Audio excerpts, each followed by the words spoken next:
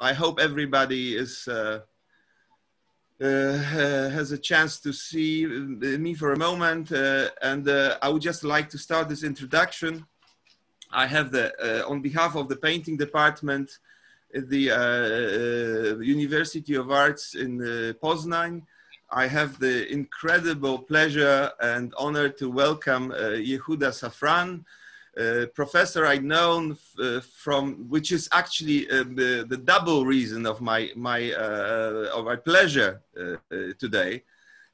professor Yehuda Safran, I had the chance to meet over over 27 years ago when I was at the, at the uh, student at the Royal College of Art in London, painting, and I happened to to stay his students since then. So I still feel very much like a, like a, like a Yehuda student. And I have a great uh, privilege now to pass some of uh, your knowledge uh, in this lecture to my students, uh, who are the painting students at the University of Arts in, in Poznań. And also, I would, I would be, I'm happy that, that I hope this uh, uh, lecture is actually going to initiate the series of talks that I um, um, happen to uh, have an idea to, to come to life, uh, which I called, uh, it's a working title called the Sealed Studio Talks.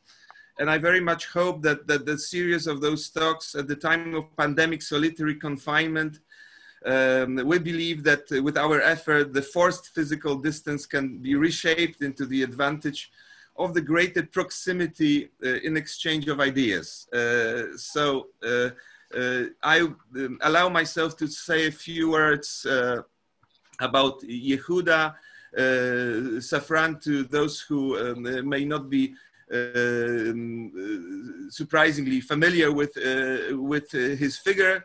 Yehuda Safran is an internationally renowned uh, critic of art and architecture. He studied at the St. Martin's uh, School of Art, uh, the Royal College of Art, and the University College London, and the architecture and philosophy, respectively. He has taught at the Architecture Association, Goldsmiths College, London University, Royal College of Art, London, uh, when I had the opportunity and the uh, wonderful uh, pleasure to meet Yehuda, Jan van Eyck Academy, Maastricht, and the GSASPP at Columbia University New York.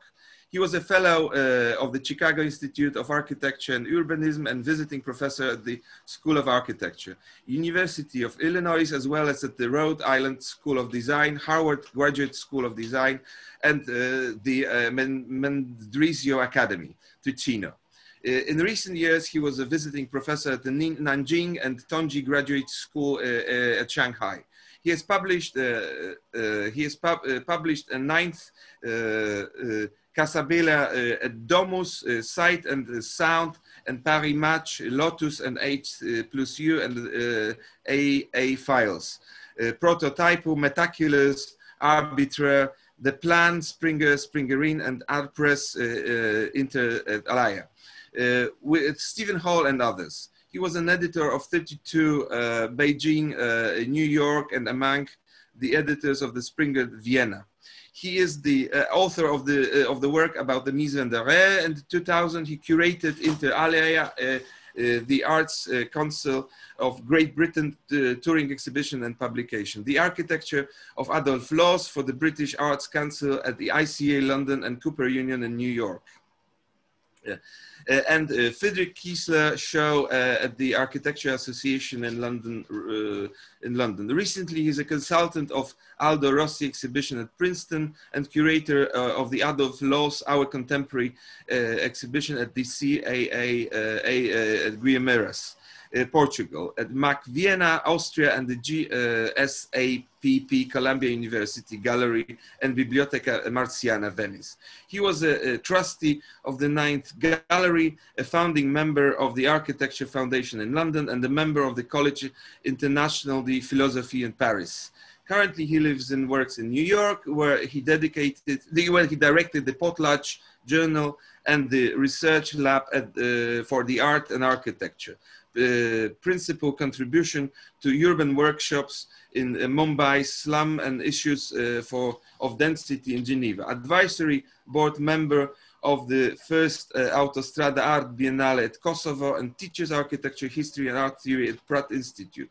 He has been for the last 22 years consultant to Steven Holl uh, architects. We can, uh, of course, uh, go um, much longer with Yehuda's uh, wonderful cu curriculum, uh, but um, I would like to uh, stop here this short introduction and give the voice to Yehuda Safran, the, the lecture about or related to the, the poem of Francis Ponge, uh, uh, the objects uh, is the poetics.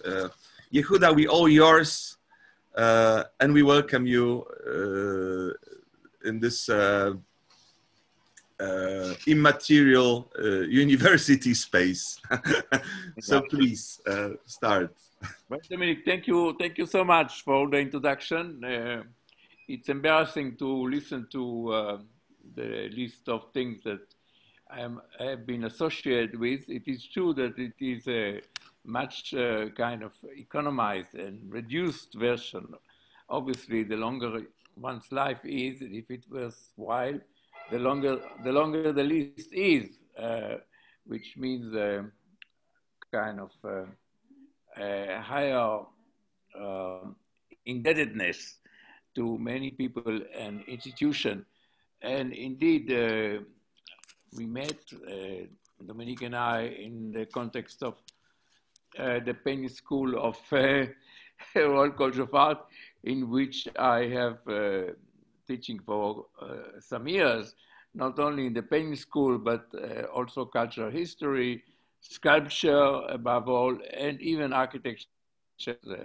Uh, you know, many people I must admit that uh, that even Damien Hirst was one of my students in uh, at Goldsmiths. But Damien Hirst, I see uh, even more seldom than I see Dominique. but every time uh, we meet each other, it's uh, it's uh, great fun. But I must say that here in this context, I would say that I have a much greater appreciation of the work of Dominique that I have of Damien Hirst though as a human being, he's uh, quite nice, very nice, in fact. So, um, you know, uh, this introduction itself could have turned into the entire lecture because whatever we can say, whatever we do say, it's um, never that far from human affairs and uh, and the highly complex way in which we entwine uh, each other life. It's not for nothing that uh, there's perhaps no uh, more important artifice in human affair than textile. And textile, as you know, it's nothing but the intertwine of uh, different uh, threads. And this is exactly what I think life is.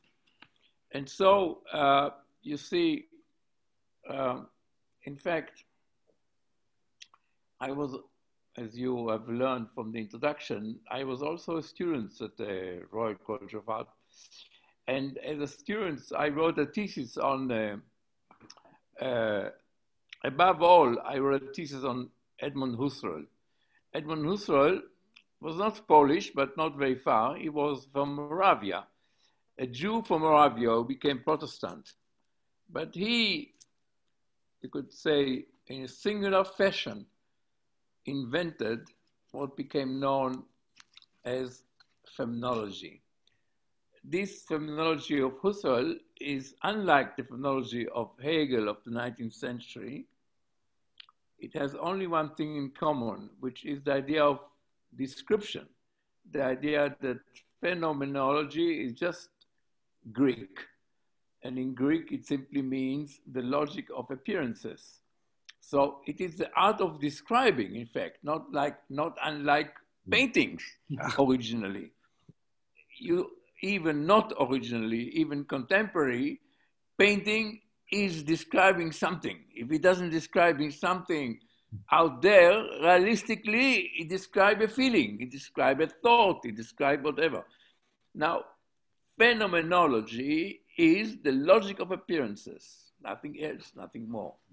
So, in some sense, as a, a Dutch historian already said, said it, Van der Berghe, that all painters are born phenomenologists. What did he have in mind saying that? Well, the simple thing is that when a painter is looking at the world, he cannot afford to see it as his predecessor have seen it. He just cannot afford it. He has to somehow emerge from all those ways and puts himself in incomparable situation, as if nobody has seen what he is seeing before him. And that is exactly what Husserl, in a more formal language, called the bracketing, or more technically known as the epoche. Was it epoche? Simply means in Greek a period. So when you do the period signs, both sides of whatever it is that you are looking at, then you are in the phenomenologist position. Why? Because you suspend your judgment as if you suspend your belief in the existence of the world at that moment. And what is the outcome? The outcome, it, it allows you then to see whatever you see in an incomparable way, in a way which has, uh, cannot be compared to anything else, anything before. And that what makes the painter a born phenomenologist. You may not know the word. You may not know anything about it. That doesn't mean that you're not practicing it. Now, knowing, you see, once you are in a in a school as you are, you don't have the benefit and the privilege of the innocent person. You're no longer innocent. Once you've come to the school, you're no longer, you cannot afford to be the innocent. And I'm not saying that in order to produce art, you have to have any kind of theory. Poetics, the theory of poesis. Poesis is to make. The theory of making is the poetics. Now, you do not have to have a poetics in order to make poetry. But once you're in school, you are. And if you are, then you might as well uh, consider what it is theoretically to be doing what you're doing. And that's exactly what we are doing right now. We are trying to understand it theoretically. So, I think that Husserl's inspired many, many people. Uh, I didn't want to bother you with uh, visuals, but I do have a photo of, uh, uh of Kokoschka incredibly animated discussion with Husserl. And I cannot tell you whether they spoke German or they spoke Czech. I assume that they probably most likely spoke Czech. I mean, the look of them and the smoke that was coming from, from Husserl uh, smoking, it was so incredible photo, which even if you don't see it, from my description, I hope you get a sense of it. And I mentioned Kokoschka because Kokoschka, as you know, was uh, people call him expressionist, but he was, I think, more special than that. He was Kokoschka, and uh, and Kokoschka, as you know, was a was a protege of uh, Adolf Loos. Adolf Loos sold his own carpet to pay for the tuition of Kokoschka in the art school. and then he introduced, introduced him to Walden, who was the editor of the Expressionist magazine, you know. And Walden, uh, wife, was Elsa Lasker-Schüler, a name to remember, one of the greatest poet uh, woman living in Berlin in the 20s. Elsa Lasker-Schüler. And Elsa Lasker-Schüler made a, a painting for Adolf Loos in which every line starts with another letter from his name, so that if you look at the first letters of all the lines, you get his name, Adolf Loos. And I think it's appropriate to mention him for many things, including the thing that he just, uh, we were just celebrating on the 9th of December. Huh? We celebrated 150 years for his birthday. So there you are. You see how the, the, the textile, the texture of human relationship is really the matrix of everything else that you can imagine.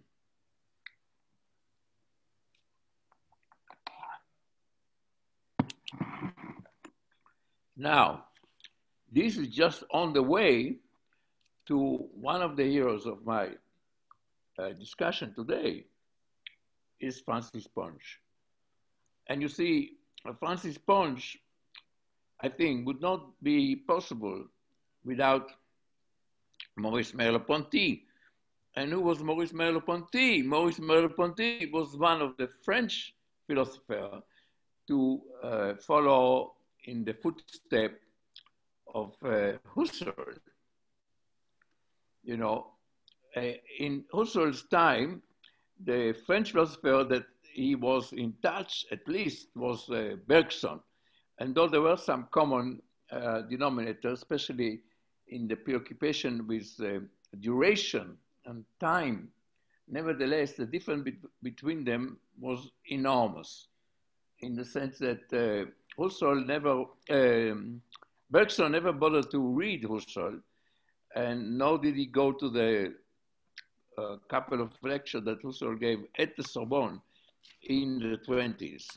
Husserl gave lectures under the title uh, Cartesian Meditation in honor of Descartes and in honor of the fact that he gave it at the Sorbonne. But uh, as far as we know, Bergson never bothered to go to the lecture or to read him. Nevertheless, uh, the influence of, uh, of uh, Husserl was very great on the next generation uh, of uh, philosophers in France in different ways. You see, um, um, Jean-Paul Sartre already moved very quickly from Husserl to his students, Heidegger, but Merleau-Ponty remained much more, much closer to Husserl and produced a very empirical version. The most important book is the Phenomenology of Perception. But his importance in this context is double because you could say that the poetry of, uh, uh, of Francis Ponge could never have been written without the phenomenology of, uh, of uh, Merleau-Ponty. Uh, Merleau-Ponty died relatively young uh, by accident, car accident, unfortunately. Uh, and uh, and uh, our poet only died. Uh, Ponge died only 20 years ago, less, I think. So,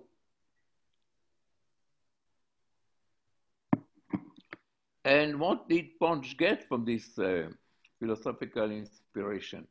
He got the idea that objects, things, are in themselves important, and that is to say, that insofar as we recognize any object in the world, anything in the world, that these things uh, can teach us. They can help us to return, as Husserl would say, to return to the things themselves. And this return to the things themselves is exemplified by different philosophers and different uh, poets. But above all, in poetry, I think that Ponge is an excellent example, uh, reality of this. And of course, in, in the work of uh, Heidegger, things uh, play uh, an, an, important role. And it is strange that uh, Heidegger made the big mistake of uh, joining the Nazis in the early 30s even after the coup of 1933, not only he, he joined them, but he became the director of Freiburg University when uh, Husserl, who was already in uh, uh, was uh, already a pensioner, lost all his privileges because of his uh, Jewish origin. And the people who saved him were the Catholic University in Louvain. And it is also interesting why Catholic, and I'll give you immediately the explanation, because you see, originally, Husserl started his life as a mathematician. And as a mathematician, he wrote a thesis on uh, the origin of numbers, by which he meant already origin not in the geographic or historical sense, but in the conceptual sense. And, you know, in those years, in the end of the 19th century, beginning of the 20th century, you could not write a thesis, a PhD thesis and get your professor and his friends to review it and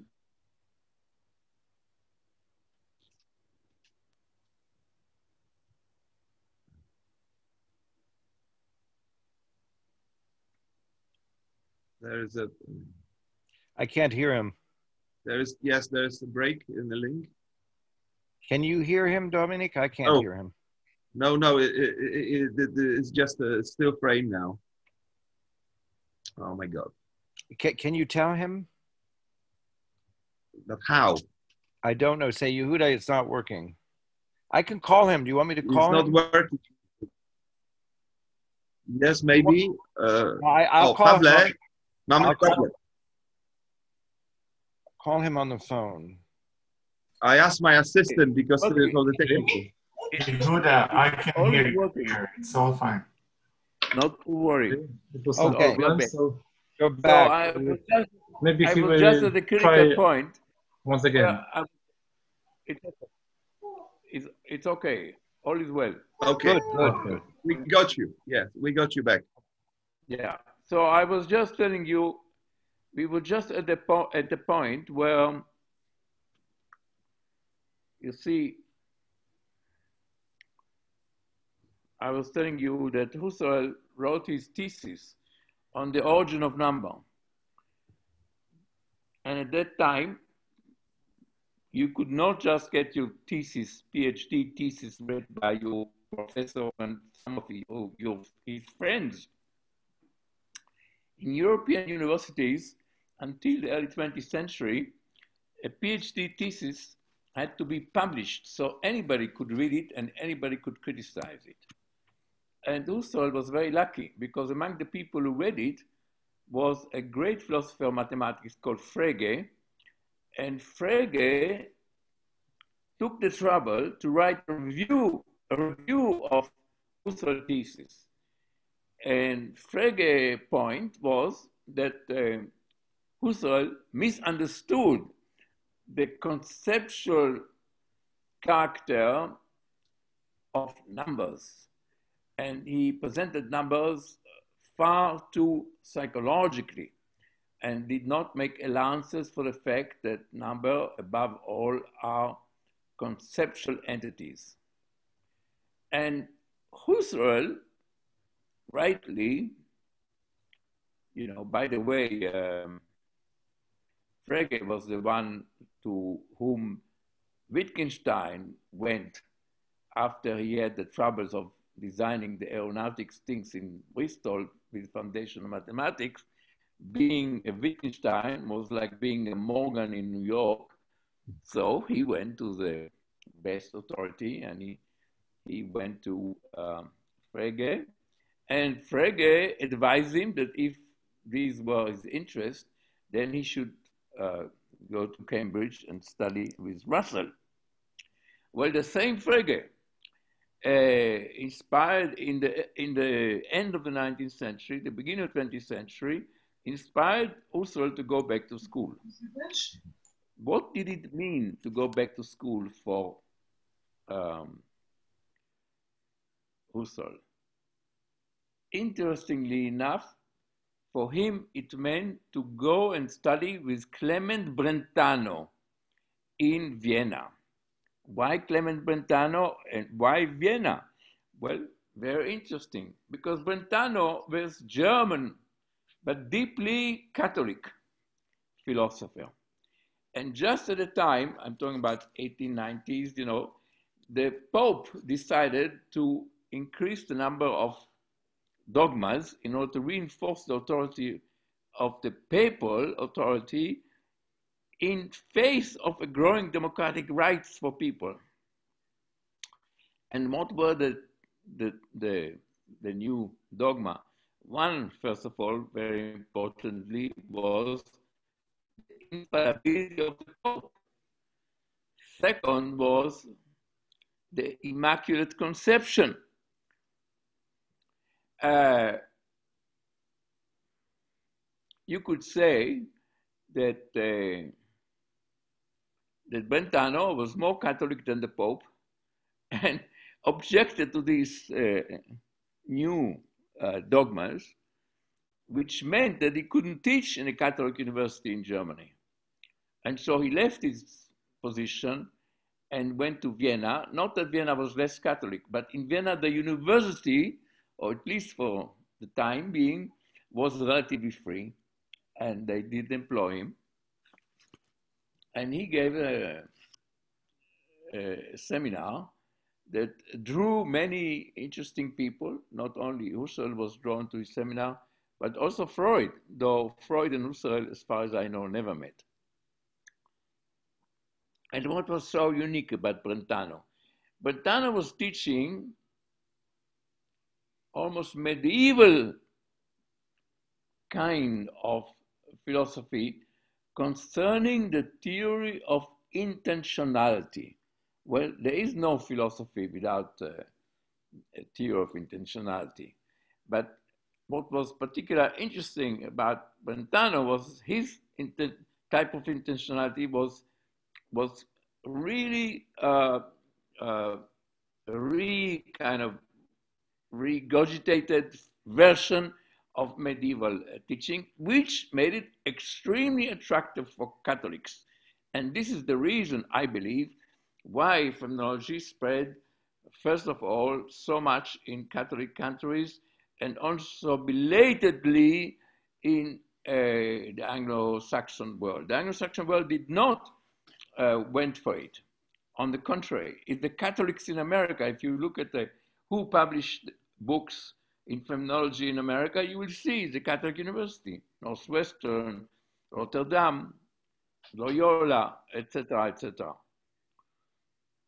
And indeed, uh, phenomenology played a very important role in France, precisely not because uh, Merleau-Ponty or Sartre were particularly Catholics, but they couldn't help it. They were part of that culture, which accommodate uh, that version of philosophy much more than the Anglo-Saxon.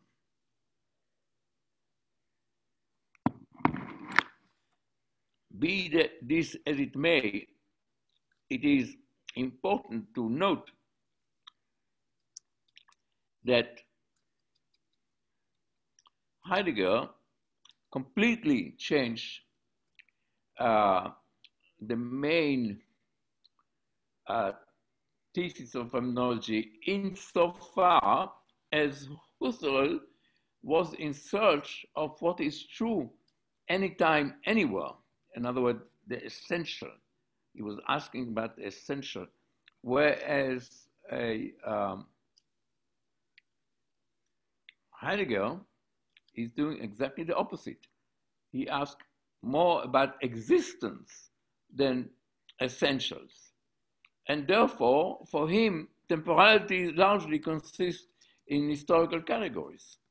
And he's not even ashamed, if you look at uh, Being and Time, his most important work, if you look at the index under Marx, you will find that he is prepared to give the authority on interpretation of history to no less than Karl Marx himself.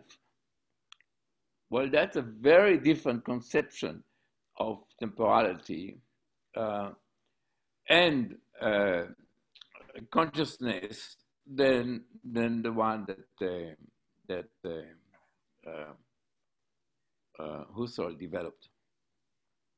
But it will allow you perhaps to understand better the point about things and the point about the belief that things can actually allow you, as it were, a familiarity of uh, things in themselves, things as they are. And uh, this is where uh, the poem of uh, um, of uh, Ponge has, uh, in my view, is plays such an important role. You know, the title of the poem is is the object is the poetics. Now, this is a quote from a painter, from Braque.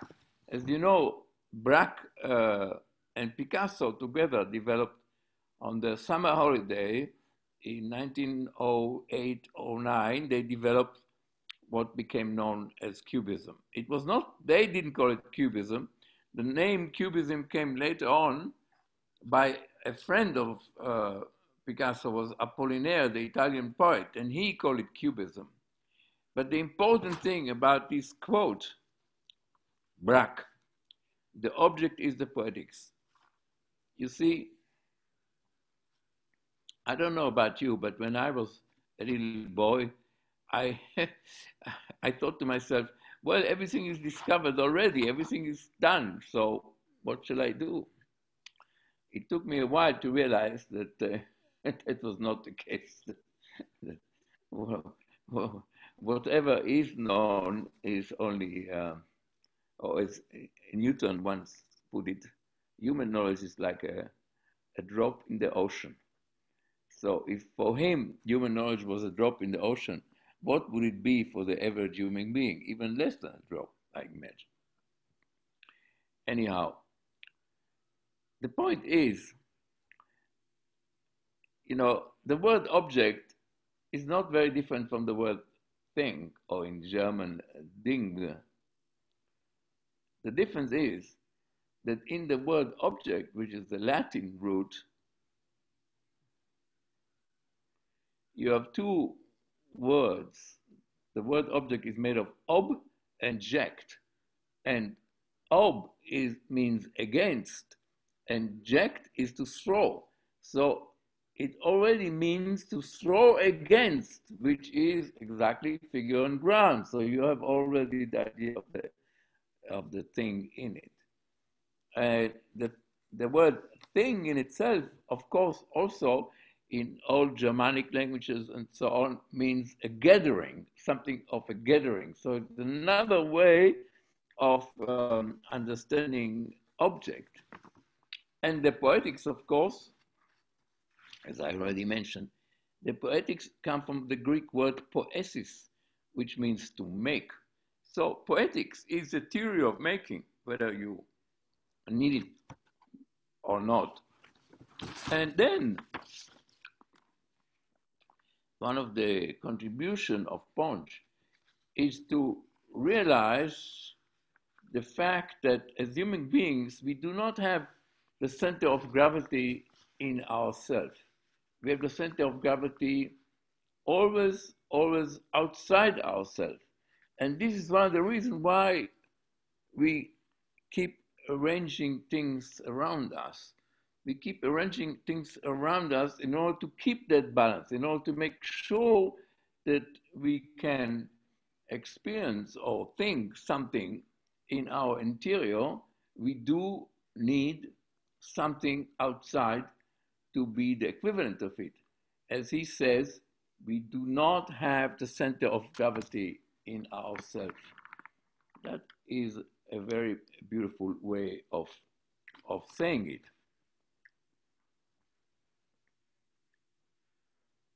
he says, yeah,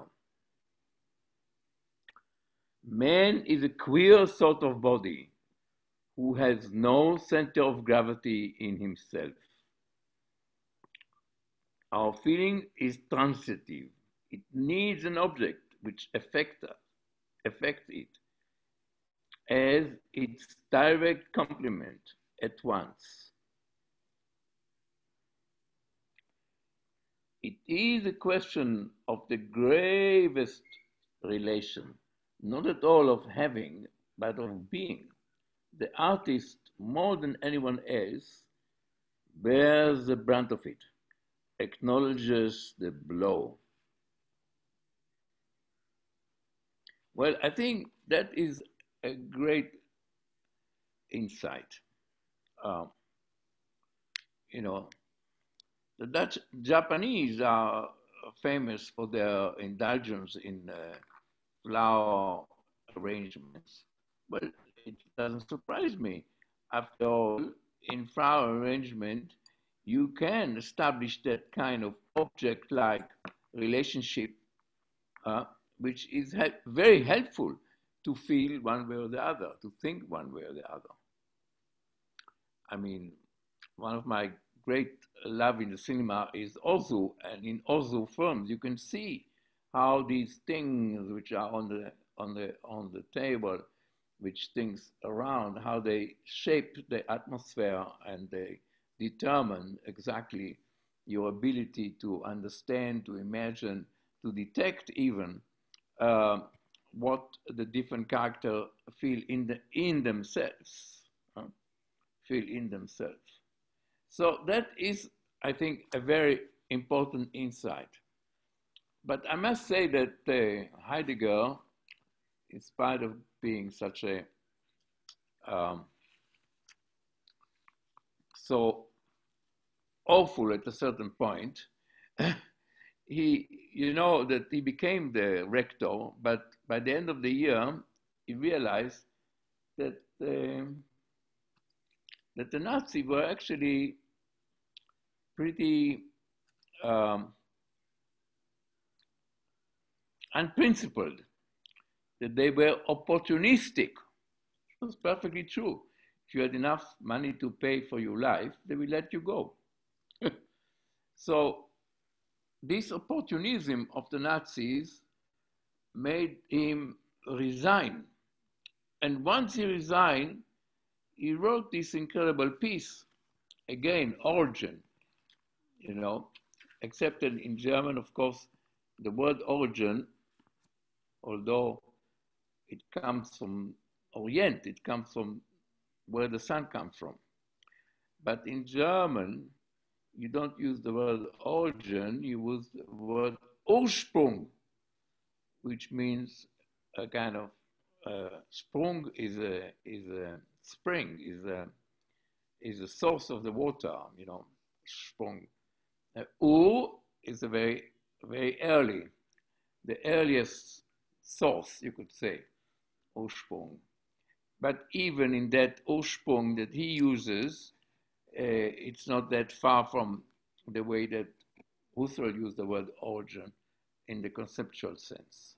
And Husserl used it again in the end of his life when he wrote this Origin of Geometry, an amazing short piece that he wrote at the end of his life, which was absolutely the opposite of Poincaré. You know, Poincaré was the greatest mathematician and physicist in France in the early 20th century. And Poincaré was one of those people who believed that, uh, that Euclidean geometry had a priority for its simplicity and economy, and no matter what non-Euclidean geometry will come up, Euclidean geometry will hold its uh, place. Well, Husserl did not think so. On the contrary, you know, Husserl in that uh, famous piece uh, suggested the opposite. He suggested there will be other geometries, and so sure enough, these geometries might have a great advantage over uh, earlier version, whether it was Euclidean or uh, the non-Euclidean uh, geometries uh, of people like Riemann and others. By the way, this was the first translation and publication of, of Derrida in philosophy, was a translation of that relatively short essay with three times as long introduction. And I think the introduction is so long because I'm not so sure that Derrida genuinely understood what Husserl had in mind. Because Husserl had originally uh, was a mathematician and uh, Derrida was never even close to anything mathematical. Uh, so I suspect, I suspect that uh, uh the, the, terribly long uh, introduction suggests the lack of comprehension.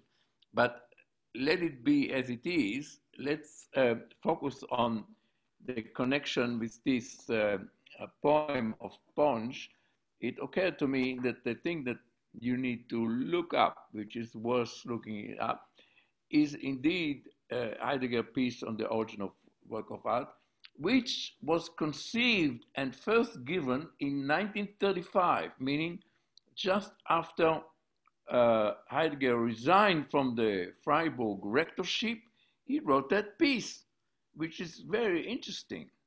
And in that piece, he uh, refer, among other things, to the, one of the most important conception of uh, of art in relation to truth and the idea of truth as being, as it is understood in the Greek language, aletheia. Aletheia, A-L-E-T-T-E-I-A,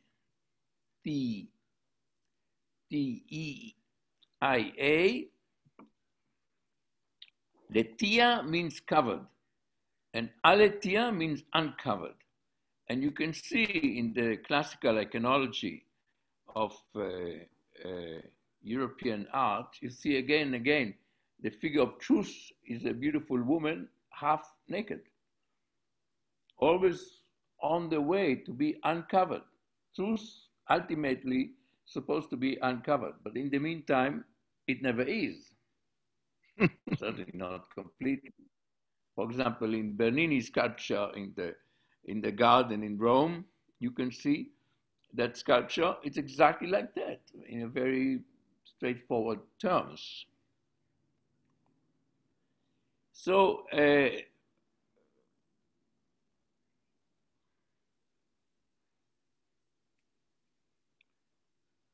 Heidegger, in fact, present to us on three occasions in poetry, in architecture, the Greek temple, and in painting. And what does he do in painting? In painting, he refers to the famous one of the eight or so painting of Van Gogh of shoes.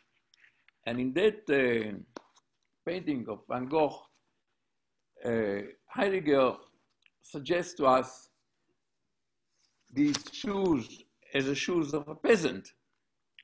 But among the people who read this uh, piece when it first published after 1935 was a great uh, art historian in New York called Meyer Shapira.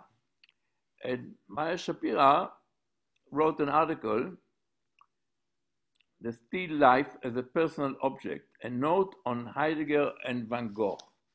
And in that piece, he argued, first of all, he does something very beautiful, and he brings a quote from, uh, from Hunger, his great book by, uh, by um, Knut Hamsun. And he uh, quotes Knut Hamsun as Knut Hamsun in Hunger described his own shoes.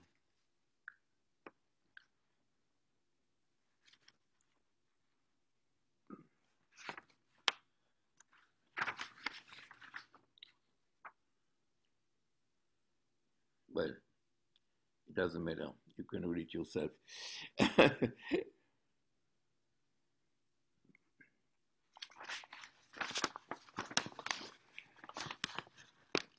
And then he goes on to show us that he did write to, uh, to as he referred to in Professor Heidegger, in reply to my question, Heidegger has kindly written me that the picture in which he referred is one that he saw in the show at Amsterdam in March 1930. Well, then Schapiro says, well, in that case, this is the shoes not of a peasant, but of Van Gogh himself. And so uh, uh, there was a clearly a proof given by Shapira that the shoes were not really the peasant shoes, but they were, in fact, Van Gogh shoes himself. And then, a few hours later, and this is where Derrida returned to our story, Derrida wrote a book in which one of the chapter is called Truth in Paintings. And in that article, Derrida was trying to play the ampere between uh, Heidegger and Shapira. And Derrida suggested that the shoes are neither uh, the peasant nor Van Gogh own shoes. The shoes are the painted shoes, and therefore, as the painted shoes, they have their own stature in reality, as it were, or non-reality. A few years later, I was asked to write about the about the, the American uh, New York painters that went under the title of the Sublime, Barnett Newman, Rothko, Clyfford Still, and uh, Olitski. And among the other things that I suggested in that uh, text, including the fact that they're sublime, related more to the fact that as children they read the Old Testament in King James's version allowed rather than 18th century as Barnett Newman tried to create the impression.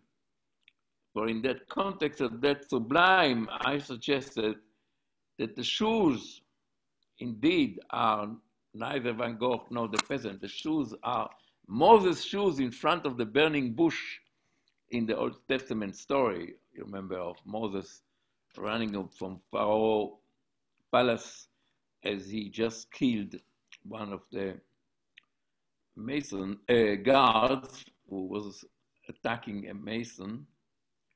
And to escape punishment, he ran to the desert, and in the desert, he's faced with a burning bush, and he heard the voice tell, Take your shoes off your feet because uh, you are standing on a holy place, whatever that means. and so I suggested that that the shoes in Van Gogh paintings are Moses' shoes. Well, I think I will end here so that we give you plenty of time to ask questions and to elaborate on what you really want to understand rather than me going on. Can, can I ask a question? Sure. Uh, uh, Dominik, can I ask a question? Yes. You can hear me, right, Yehuda? yes, yes.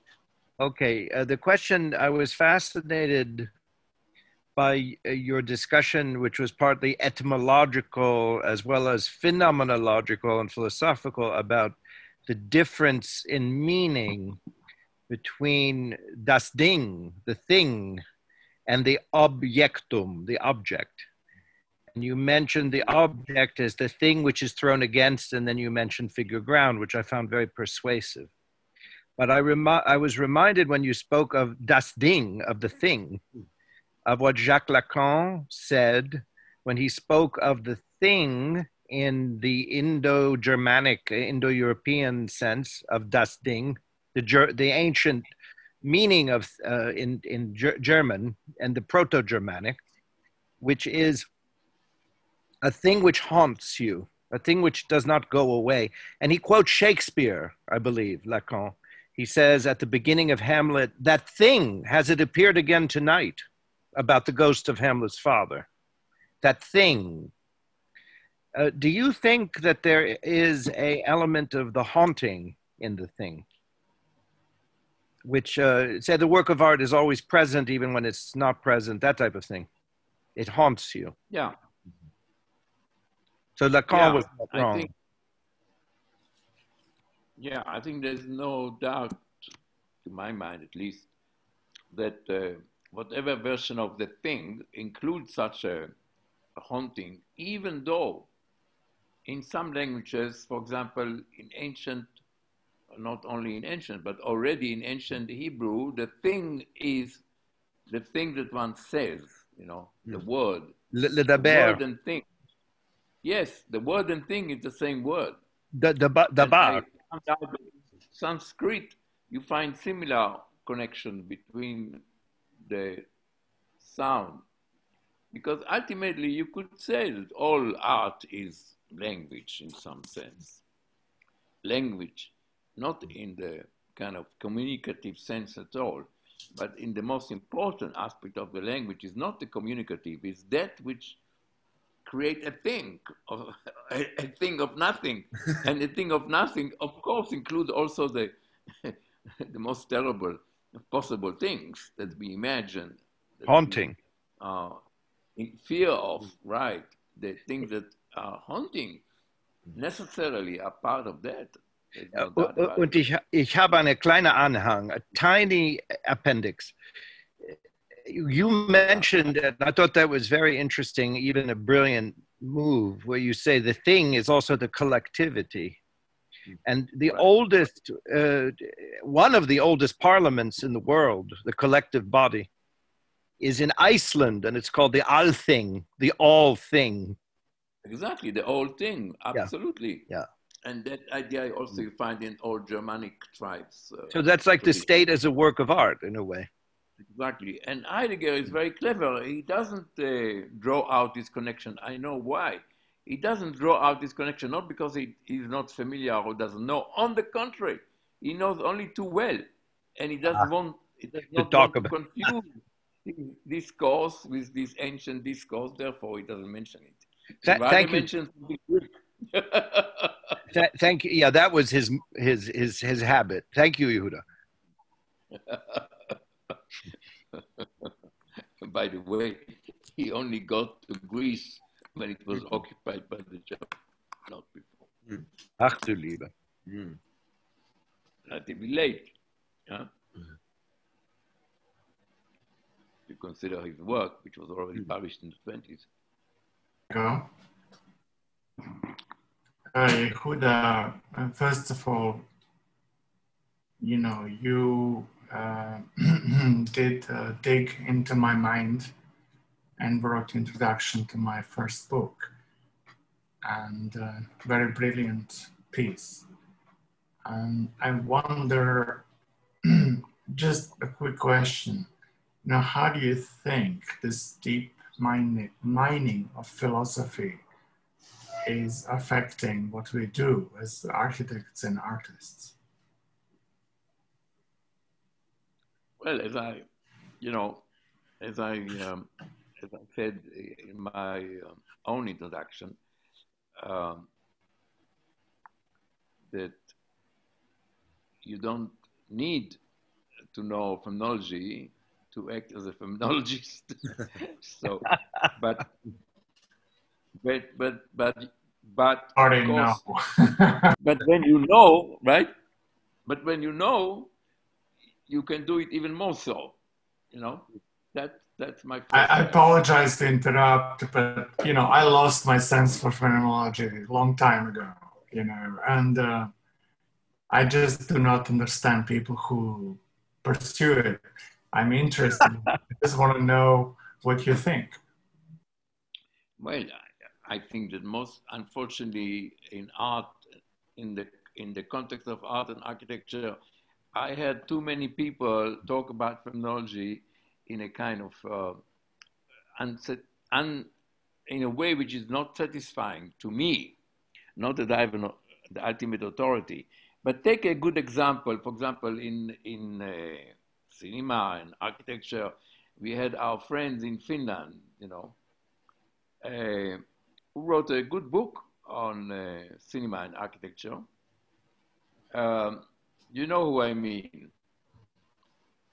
Pallasmaa. Johannes Pallasmaa. Pallasmaa, Johannes yeah. Pallasmaa. Very nice and very um, nice man. And he wrote a book which is supposedly from the logical approach called uh, Eyes in the Skin. Hmm. Now, I wouldn't recommend the book, not because it's a bad book, it's a good book, but somehow it simplifies many issues that are far more complex. It's a kind of Maurice Merleau-Ponty for children, you could, you could for youth. and and I, I don't blame you if you found the, the so-called phenomenological blah, blah, blah um, uh, unappealing. I mean, the famous example we have in New York is Mr. Uh, what's his name? Mr. Peter Eisenman, you know, who goes around and talking about the conceptualist versus the phenomenologist, right? So he's the conceptualist. He, he knows too little to appreciate that his great uh, guru, Mr. Uh, Derrida, is nothing but a footnote to so himself. And all phenomenology, insofar it is phenomenology, start with the conceptual analysis. So there is no such dichotomy between the conceptual and the phenomenological. Yeah, because but Yehuda, Yehuda just, just apologize to interrupt. You know, I love you. You know, uh, you're my friend, and uh, I just think that um, that I, I, just want to know what you think about you know arriving at the stage of uh, looking for knowledge, especially artificial knowledge today, and uh, there is no phenomenon associated with it and uh, at least not that I know. And uh, so that's something I would like you to address. Well, when you say non phenomena uh, uh, are associated with it, I understand what you mean. And indeed, in the, in the purest uh, uh, version of, of science, you could say that there are no phenomena, they are only creatures of our own mind and that doesn't mean that uh, that the, the, the, the, conceptual discourse of uh, phenomenological speaking could not apply. It does apply, and you find it among uh, biologists, uh, among physicists. You do find phenomenological uh, discourse sometimes uh, very good. Mm. yes. For example, this neuroscientist who used to be in Columbia, what's his name, wrote this incredible book uh, called The Man Who Took His Wife for a Hat. No, no, that, the sky. The, no. the, you know, you met. Oh, you Edelman, met Edelman, Edelman, Edelman, Edelman, who got Nobel Prize for his work in, uh, in neuroscience. Well, read his book. It's full of phenomenology. G- Gerald Edelman. Yeah. Sorry, immunology. I- I- immunology he got a Nobel Prize not for neuroscience but for immuno- immunology. Yeah. And then from immunology, he went to the brain. Uh, he said, right, right. Yeah, he said that knowledge in a certain yeah. You you read his right. if you read his book, it's full of immunological insights. Also, Hermann so, Weyl, Yehuda. Right. So I think so. While I I sympathize with your reaction, um, surgeon. I think that uh, one should not allow the impression of bad things to uh, hide, to, to mask mm. a very important and good things. And that's what I would say about phenomenology in contemporary discourse, right? Mm. For me, it's always a question that I posed in the title of the text I've written for you, you know, what does a man knows when he knows a language? Uh, to respond to that, uh, thank you, Dominik, for allowing this. Um, I just, at this moment, I, I don't, you know, I actually, I have an anecdote to say. I mean, I ordered the, you know, phenomenology book for my landlord who is 80. Which, which phenomenology book? Well, um, the, the whatever, the reader on phenomenology. And, uh, and, and it's something that, that I, I would like to ask you a question. You know, does it come with age? I mean, I know Pallasmaa and I know what he's doing. I know friends who are totally influenced by him, but does it come with age? Does it come with age. Age or Yeah, age. You mean, you mean the older you are, age, the meaning more, like exactly. you mean the older you are, the more you're inclined to uh, follow it? That's correct. That's my question. I don't think so. Uh, uh, in my view, not at all. I think that I, I agree with uh, Van den Berg, who was a kind of psychological, uh, historical uh, psychologist in Holland, who coined this phrase. You know, he the phrase he coined was, um, how did he say it? All painters are born phenomenologists. so not with age. You are born phenomenologists.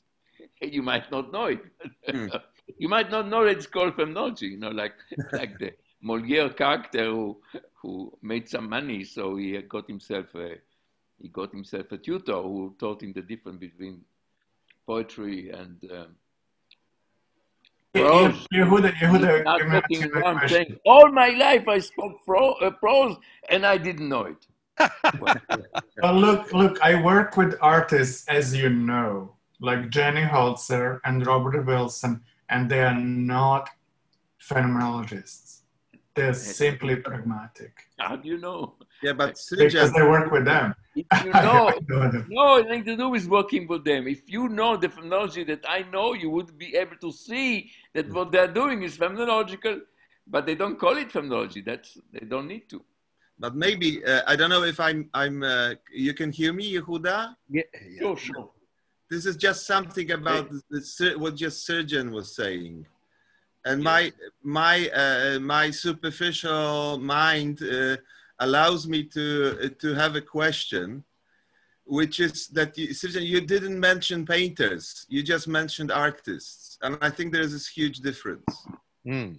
I, I think I think I even think that painters may not be considered as artists anymore. Uh, and I do believe that they are born phenomenolo- phenomenolo- phenomenolo- phenomenologists, also uh, on, on the same basis uh, with the relation to art as, as painters are uh, somehow dealing with what I would say, uh, quoting F- Friedrich Kiesler, which you of course are uh, most familiar with, that art is uh, that art is a teaching of resistance. So speaking of the gravity that you mentioned in Ponge's uh, poem, the artists are somehow resisting being an art. The painters actually somehow throughout what they do, they they resist being an artist because what the painting is now, I think, is something completely different than art in general. And I would like to know Why your you opinion. Would you would you consider be, being art, uh, painters and artists anymore? Maybe they are not artists. Maybe Serjan d- d- mentioned uh, just artists, but but it doesn't mean that that uh, painters are not phenomenologists because they are not artists anymore. Okay, well, I understand that threw a bomb into the discussion. That's why we have this discussion. I do not know. I'm not a painter myself. And actually, I never work with a painter. Uh, I work with other contemporary artists, and, um, Yeah, because and I this can is share something, my experience. no, because this is something very important. I would like to to ask Yehuda uh, about about that because this deals with the, this this uh, the phenomena of of the the shoes uh, of Van Gogh's shoes. And, and it's gravity because of uh, because they are they are the painted shoes. So how how come does this relate to the the the how would say the gravity as an aspect of resistance in a way? I mean, I, I would say that, that this is a different type of resistance if you're a painter than you're like an uh, artist, which I would say has some reference. Maybe again, it's it's it's a it's it's sort of a uh, it may sound like a manifesto, but I would say I would consider all, all other artists that are not painters as much more ideological. So phenomenology and ideology is this is something which I would like to ask about because I it's like quoting Baud- Baudelaire that sculpture is something that I can fell over because when I step back to look at the painting. So, so for me, that, that there's this difference, I would say, uh, when you say artists uh, and when you say painters. I don't know. It's it, it's it's just it's just this thing that I, I I thought I could I could ask Yehuda also whether you would whether you would consider painters and artists anymore. Uh, what what what I would say is that uh, that normally we would use the category of paintings to apply to to people who are doing art without being a painter in a technical sense at all.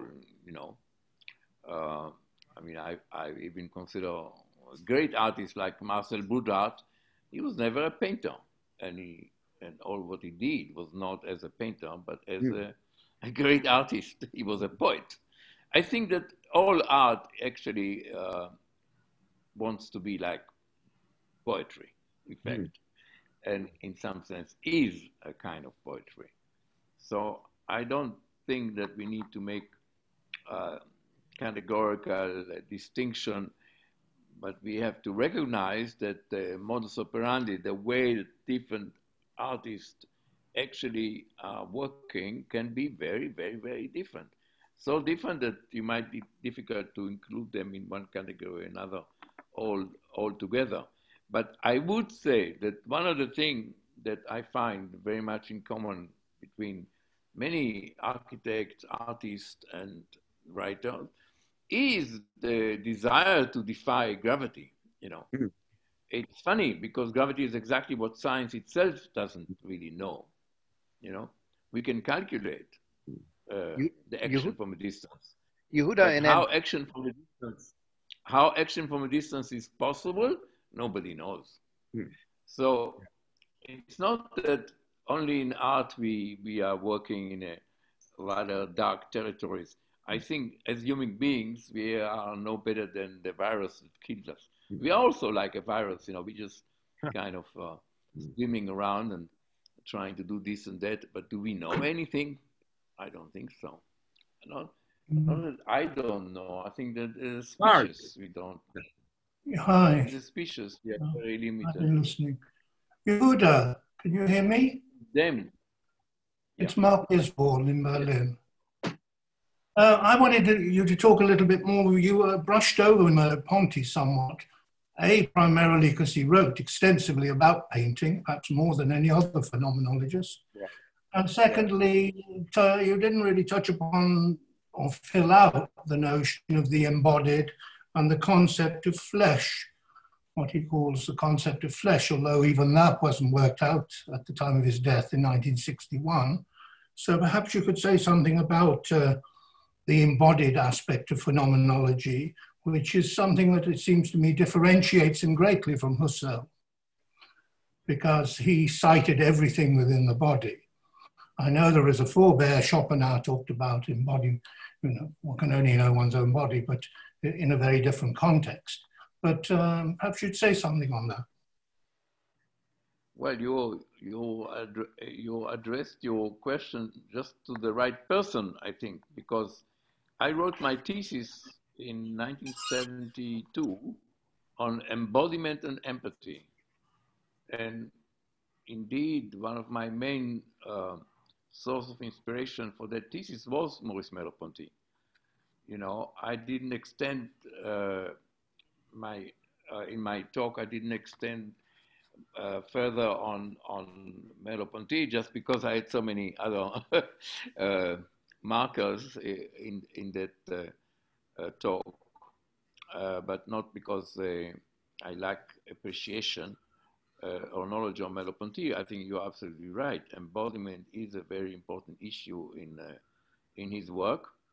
And then, you know, I also studied a woman who is uh, far less known but very important, who was both secretary and assistant to Husserl, which is Edith Stein, who wrote a thesis uh, with Husserl on empathy.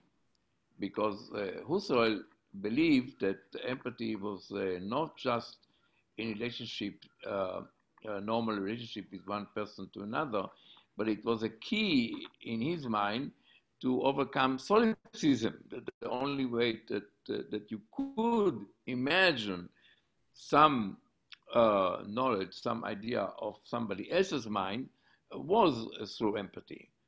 And so I thought that these issues of empathy and uh, embodiment are very close together and need to be studied together. And this is exactly what I did in my thesis of 1972. Uh, I studied them together. And I must say that at the time, neither of these concepts was very, very much in vogue. I mean, nobody was talking about it. You know, if you mentioned embodiment in 1970 in an English art school, uh, people would think that you are from the moon or somewhere, you know. I have no idea. Nobody talks but, about but, it. Nobody read Merleau-Ponty, except I did. but uh, Yehuda Gombrich was talking about empathy back then, but he didn't understand it. Well, he didn't. I know he talked about empathy, but not in, not at all in that uh, philosophical perspective. Right. Right. You know. Yeah. Yeah. That only reinforces. Empathy always played a role in, in aesthetic uh, theory. The, there was a discussion of empathy, and that's how I got to it. But it was never really very well developed.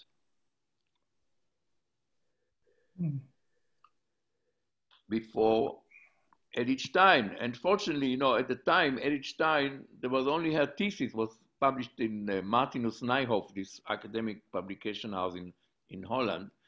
And the only thing that was published by her was this book on empathy, it's called, on empathy. But then the Polish Pope, as we are in Poznan, the Polish Pope uh, actually made Edith Stein a saint. Yeah. You see, because Edith Stein originally was a Polish woman, uh, a Jewish Polish woman, uh, very much the same story as uh, as uh, Luxemburg, you know, very much as Luxemburg, and uh, uh, except that Luxemburg was Marxist, and Edith Stein went to study with Husserl, and and her study with Husserl and her thesis and so on led her to become Catholic and as a Catholic, she became a nun. And as a nun, she moved to a, uh, uh, to a convent in Holland. And in that convent, the German found her uh, when they occupied Holland, and they sent her to Auschwitz. And Pope Wojtyla made her into a saint. And the good thing he did, because once she became a saint, you could find all her writings were published, especially in French and Italian. I don't know how it is in Poland, probably also. Yeah. Right? Yeah. In my view, she is still the greatest. You know that about 20 years ago, there was a huge development, scientific, you know. Some physiologists in uh, Italy, in Parma, discovered that when they gave these wonderful nuts to one group of uh, chimpanzee, the other group behaved as if they had the pleasure of eating this uh, so the Italian noticed it and they decided to inquire how come, what is it? What makes the people, the, the chimpanzee who didn't have the nuts, feel so happy when they saw their friends, chimpanzee, eating their favorite nuts? And then they discovered what they claim to be called the, the neuron, mirror neurons. In other words, neurological behavior that mirror like uh, external events. Mm. And this uh, they uh, connected with the mm. phenomenon of empathy. Mm. And they thought that these mirror uh, neurons explain the phenomenon of empathy. And it's so interesting that uh, even though these discoveries, uh, if we take them at face value, uh, important as they are, strangely enough, in my view, they don't add anything to our understanding of empathy. Mm. I mean, the fact that we now know there is some physiology, physiological basis mm. doesn't really explain empathy, mm. or not as well as Edith Stein did so many so many years ago. You know, Yehuda, from the 16th century to the 19th century, uh, painters were compared to monkeys. There's a brilliant book about that called Le Singe Antiquaire, the antiquary monkey, by Jean Seznec. Well, of course it was. Yeah. Because the most important phenomenon in human life is mimicry. Mimicry. You know, mimicry. Mimicry is colossal, colossal. It's very difficult to imagine human life without a large dose of mimicry. Hmm. And th- this is why mimesis is so important, you know. Hmm. And our French uh, friend who wrote this book on mimesis is absolutely hilarious. Hmm. Are you talking about uh, Gérard Genette? Yeah, the voyage de, de pays de Kratos. Mimologique. Mimologique. Mimologique is a great book. Precisely why? Because mimicry is an enormous uh, part of our life, mm. whether we know it or not. uh, just to add, Yehuda, um, well, it's very beautiful what you're saying. I just, you know, as my friend, I always want to say I never saw you as a phenomenologist. I saw you as somebody interested in phenomenology. Meaning, thank you, thank you. To know, to know the knowledge. You're absolutely right because I never like to give myself, uh, you know, tickets. I remember my students at the Royal College of Art, not in the penny school so much in other school where I was teaching the Royal College of Art. I know that they would ask me, Yehuda, what are you? You're not Freudian. No, I'm not. Yeah, you're not Marxist. No, I'm not. You're not. I just so what are you? I said, I said, I'm sorry. I am who I am. I just want to have an input on empathy. And, um, you know, I, I have been in dialogue with many friends who are falling down to phenomenology and empathy and those issues about feeling the space and feeling blah blah blah you know like especially in architecture especially you know turning to be religious and spiritual mm. so what do you think about that i mean is is the entire discourse turning towards that oh i, I think that uh, anything worthwhile human being uh, invent or achieve can easily uh, drag into the mud, can easily become something else, you know. And uh, what you are telling us about is uh, unfortunate people who know too little to, uh, they don't know, you know, it's not that they don't know this and that, they don't know themselves. That is the problem. so anything can, can put them into a, a very narrow strait. That is unfortunate and I, I think the only way to repair it is not necessarily by knowing other things. No, this can help or not. The most important thing is to know thyself. This is what uh, mm. Husserl himself uh, always be, uh, taught us this. He said, in the end of you, if you read the most succinct version of his philosophy, you will find in a relatively slim book, which is called Cartesian meditation, which, uh, which he uh, uh, published as the uh, record of his lectures at the Sorbonne. And in the end, he, he says exactly that. He repeats the Socratic maxim, you know, know thyself, know thyself. And he, for himself, always claimed that his real ambition was to become an absolute beginner, you know. Mm. Semper iniziare, always in the beginning. Yehuda, so does he does he does he quote Montaigne as well as Descartes? No, no. But that's curious he that absence.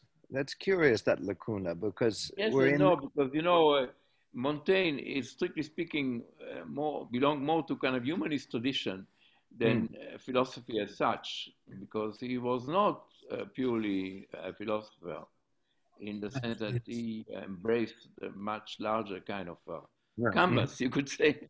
yeah, but that's still a uh, skeptical Stoic tradition. There was he's been classified yeah, best, better see, or worse as skeptical see, Stoic.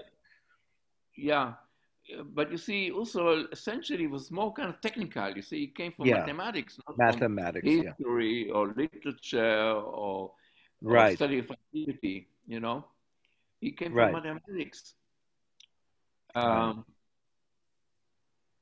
I think what is amazing about him that he came from mathematics, and yet there is much which is uh, an echo of uh, humanistic uh, tradition in his writing. For example, in the end of this book, he he quotes Socrates, he's, uh, no, no, less. Well, that says, doesn't surprise me. Yeah. No, no, know thyself. You know. But Montaigne so is a bit far afield. Yeah. Exactly. Yehuda, another question. Okay, maybe another bombshell. I mean, I have a degree in mathematics before, yes, as you know. Yeah. So uh, there are no emotions. I was happy There's no empathy. so, but it's the internal truth. So, uh, how do you deal with that? I mean, introducing empathy, introducing things that are close to spirituality. I mean, I just want to know what you think about it. Well, I I always remember what uh, um, what uh, Einstein said about mathematics in his lecture to the uh, Science Academy of Prussia in the 20s. He said, insofar as it is true, talking about mathematics, is not about reality. Insofar it is about reality, it's not true. so, you know, I think, you know, if I had a, a, another choice of life, somebody said to me, listen, here you are, your, your, uh, your dice start rolling again from, from zero. Which way would you like it? I, I would say, give me mathematics, you know. Let me out of this mess. but but Yehuda, mathematics is also a mess in a certain way. They have there's no, no, no you know when I was a no, high consensus. Student, I was very I was very good uh, about algebra. You know, I did algebra like I was a real Arabic uh, uh, scholar. You know, I, I would solve algebraic issues very easily and very correctly. You know, and my teacher thought, well, you know, you're doing it so well. Why don't you kind of make it your into your main thing? But I must say that I spend more time reading uh, psychology books under the table. no, but but Yehuda, I was re- I was reading about I the, thought this... algebra. You know, I thought algebra was too easy. but Yehuda, I was reading about the fundamental disputes between the in mathematics between the intuitionists, the formalists, the Platonists. The they're they're all about fundamental. They're fighting like cats and dogs. Daniel, Daniel, I'm familiar with exactly what you're referring to, but don't forget this discussion no longer exists. You know why? Because nobody cares anymore. Really? That's yeah. That's in, def, in reference to surgeon uh, you know, in mathematics, people no longer think in these terms, which in art sometimes people still refer to, like you know, intuitionist, uh, structuralist, uh, formalist, uh, concept, formalist, etc., etc. It, it no longer doesn't apply. It used to apply to mathematics, just like as in art, but it no longer applies because it's part of the history the of mathematics. Exactly. The mathematician, mathematicians themselves no longer think in these terms at all. Right, right. But I'm a historian, Yehuda, and the historians of mathematics talk about it. Yes, it was an important chapter, you know. Right. Certainly before the Second World War. Uh, Indeed. Uh, Hilbert, uh, David Hilbert. Were divided, you know, mathematicians were divided like uh, like like artists, you know, between the intuitionists, the, the, the, Pol- the Polish school of mathematicians. well, I can say right. something about this. I can say Go something. for it, Dominik. Daniele, uh, the uh, uh, father of my of my wife, uh, he's a mathematician from Poznan and uh, he uh, just uh, signed up for the course of a, for the driving license. so they go into the car and he drives, and he, his instructor uh, says to him, "What are you doing? Think, think."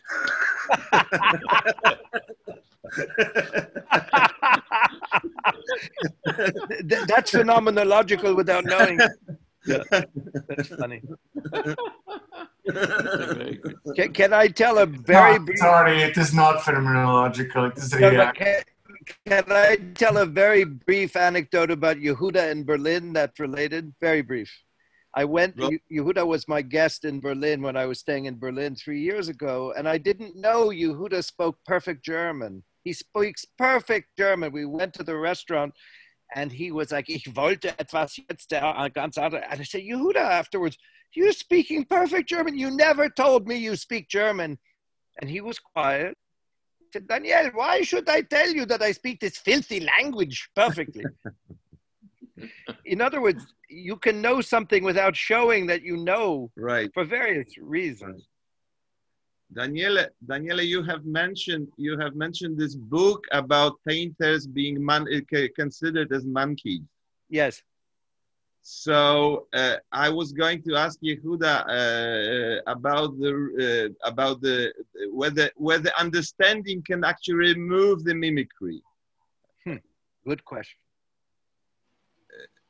If It is, mimic it is. if mimicry can be uh, can be something uh, where you have the understanding that stays against it. Mhm. Yes, I think I think that, that it's a very good question because it raises uh, uh, complex issues uh, which has to do with uh, our behavior, Uh, and I think in principle, yes, I think in principle the uh, mimicry can be much reduced by uh, um, all of devices uh, which have to do with uh, the mind uh, uh, thinking independently of given reality. You know, uh, the Greeks uh, were obviously divided in in in their view of language. Uh, this is why Cratylus, Cratylus, you know, in the in the dialogue called Cratylus, uh, is the the one who present the, to Socrates with the idea that words have their meanings because they are mimicking the thing that they describe. You know, like plonk plonk for wine. You know, this is a clear case of mimicry. But Cratylus uh, had a stronger thesis. He wanted to argue that all language uh, derive its force from its uh, uh, mimicry On, characteristics onomatopoetic. onomatopoeic, onomatopoeic, you know, and I, you know, when I was a school a schoolboy, I was told that avoid onomatopoeic sounds. I was told it's a very primitive. I was told avoid onomatopoeic sound. And as I grew up and became somewhat of a writer, I realized that the reality is exactly the opposite. You know, the best writing always would have a large part of onomatopoeic. Now, the crucial question here is what? Onomatopoeic meaning like the sound of something. But the sound of what are you mimicking when you write? This is the issue. Not whether you are mimicking or not. Of course, you will mimic. And if you, you will do it unnoticeably or unaware, you will mimic the obvious things that people mimic. But if you are aware and you can make the mimicking as part of your technique, you can produce something ex- extraordinary. And there is no extraordinary language without mimicking, without onomatopoeic. But the best onomatopoeic is the most surprising one, not only the most obvious one, like plonk plonk. It's the really when the language really mimics the music, the sound of certain uh, ambience. This is really a killer. And I think, you know, I took a chapter of James Joyce, Finnegans Wake, and I translated it to Hebrew, not word for word, but sound, only by the sound. and it did bring something out, whatever it, it, it was. It was not, it was not meaningless. Do it like that. is this, Yehuda, such a something Yehuda. Yehuda, is this linked to the Greek concept of ekphrasis, do you think? That uh, ekphrastic Yeah. is uh, a simile between the thing and the language used to describe it.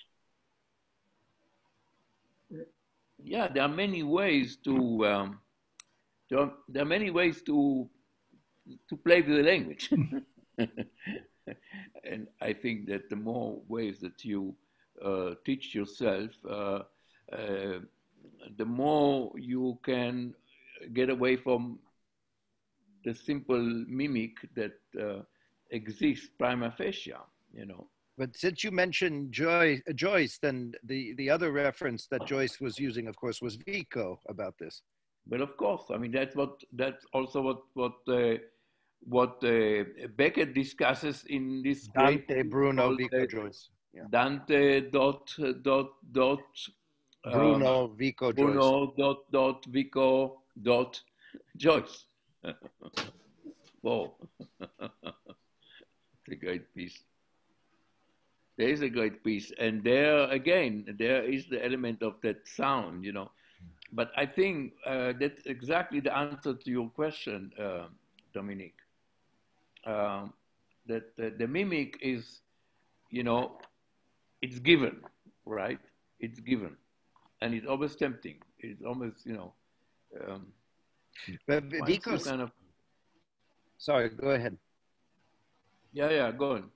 Vico said, uh, he spoke to your point about what is being imitated. Vico said in, in primitive culture, quote unquote, the primitive, uh, the archaic, uh, that they were imitating, the onomatopoetic was imitating the thunder and the light, you know, the explosions of volcanoes, uh, the meteorological uh, phenomena, and that gave rise to the names of the gods that was his thesis is that the- it's meteorological determinism to a certain degree and the the telluric as well as the the weather uh, because Right, it's primordial experience Yeah, it's also part of the given.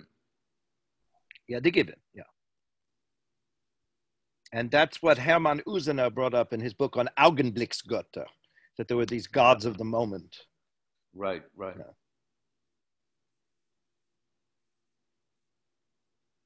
The FML.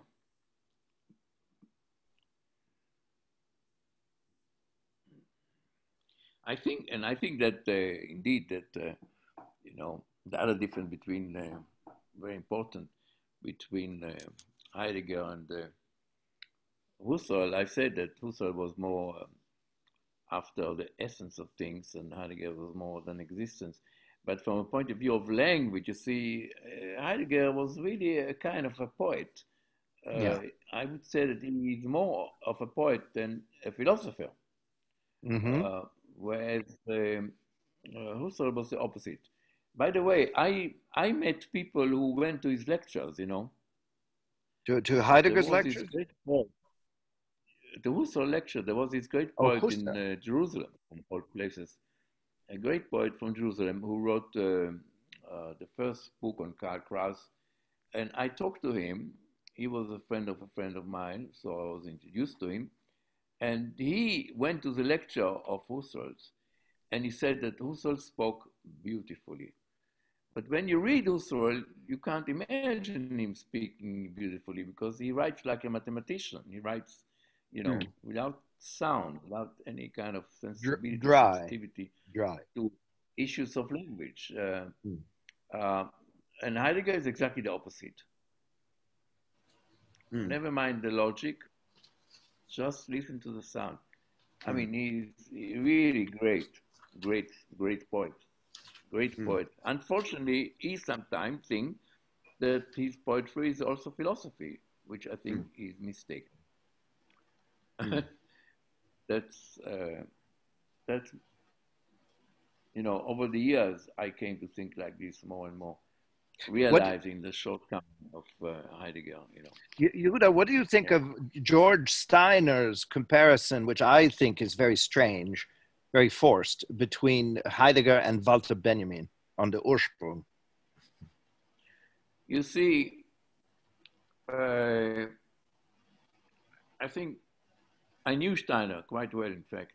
Yeah.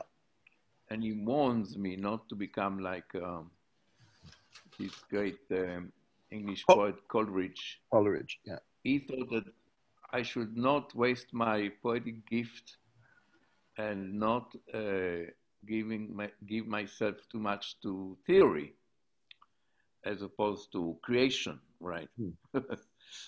And uh, I don't know if I listened or I didn't listen to him. I think in part I certainly did. He was a funny man. And uh, so his views are kind of strange because sometimes he writes about things he doesn't know. Like Right. Yiddish, for example. Hmm. He, he found himself in a terrible mess because he claimed what he shouldn't have claimed because his knowledge of Yiddish was not sufficient. Yes. So what he says, but you see, it is uh, a priori true that uh, both of them were, as it were, uh, uh, sucking from the same source. Flower. You know? Flower. Yeah. Right.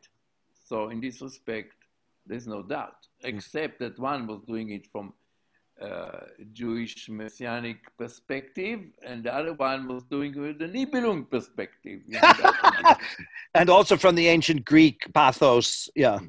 Man kann meinen, you know. Man kann meinen. Yeah. Ancient Greek, as it is reflected in a dark mirror of, uh, Right. of uh, Heidelberg uh, beer. Uh, Beer hall. well, it was not in Heidelberg, it was in Freiburg, even worse. You remember that book, Yehuda, of, of Butler called The Tyranny of Greece Over Germany? Yes, yes, yes, exactly. A tyranny of Greece over Germany. Yeah. It's not That's really what I said Greece. to- Yeah. That, that's what I said to Mr. Chipperfield, who became famous for having uh, recuperated one of the great museums in Berlin. And I said to Mr. Chipperfield, you know, not in public, but privately, I. I said, how could you, you know, do this thing again when the program proved itself completely inappropriate? The program I meant was, you know, in the 19th century, the Germans decided that if, if they had a great museum and great collection, especially of Greek art, then they will be like the Greek. But obviously that failed, right?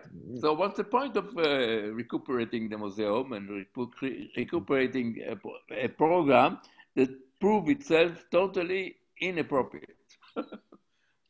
so yeah, that's the difference between Heidegger and uh, and Benjamin. One was a mensch and the other was a beast.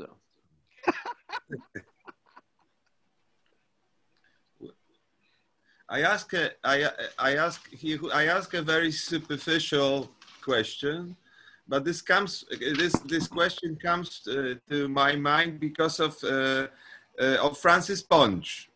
Uh, and uh, and what you're just saying about this stretch in Heidegger between poetry and philosophy.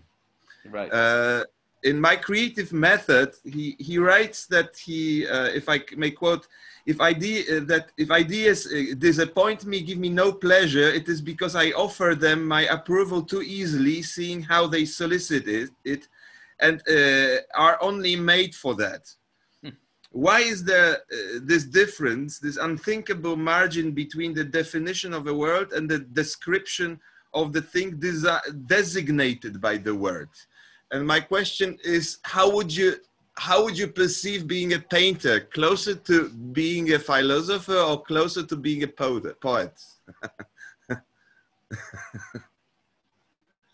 no question. What's the relation between these two poles? Yeah, I think I think being a painter is much closer to poetry than philosophy.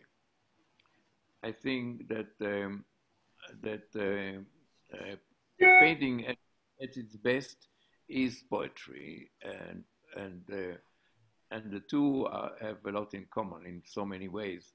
And that's something that you couldn't say in the same way about uh, philosophy and uh, philosophers. You know, Yeah. philosophers, uh, in a way, have to guard themselves. And I think that the, the problem we have with Heidegger is that that he gave himself poetic license, in the sense that he mm. allowed himself to think what philosophically mm. he should not have allowed himself to think. So, Yehuda, you're close to Horace, who said ut pictura poesis, mm-hmm. like the poet, so the painter. Yeah. Exactly. I completely agree. You know. Yes, and and uh, Robert Klein pointed out in uh, La Forme et l'intelligible that in the 16th century, the paintings of Titian and Giorgione were called poesie. They were called poets, poems, poems. Right. Because the Greek word poesis is simply to make. Yes. Yeah. You know, it's a form of making, you know. Yes. Um, no doubt. And, uh, and uh, Heidegger, indeed, he quotes Hölderlin and he says, uh, poetically dwell men on earth, you know. Yeah. Poetic, poetically dwell men on earth. Well, that's, uh, that's it. Right? Poetically dwell men on earth. By the way, in the same book that I read, early to you, Poetry, Language, and Thought, there is also uh, one of the articles is the thing, you know, the ding. Das Ding, yeah. Das Ding. There's one piece on ding and one piece of language. And I think also, you know, reading uh, Hannah Arendt on Heidegger, she says something very similar to what I said about the fact that he was uh, such a gift, gifted with his language, you know, and seems not to. Uh, I think, you know, as a philosopher, I think he uh, failed us in many ways, but not as a poet. But after Yehuda, poet cannot be responsible to whatever he says. Yehuda, you once reminded me that uh, you that uh, in England in the seventies, uh, uh, Hannah Arendt was called a metaphysical journalist, not a philosopher. Yeah, some philosophers did call her, but uh, nevertheless, she knew him very well. Uh, Uh, She knew him too well. some people say too well. I say that. A lot of people say that. Adorno could never forgive her for that. She didn't think it was too well. You know.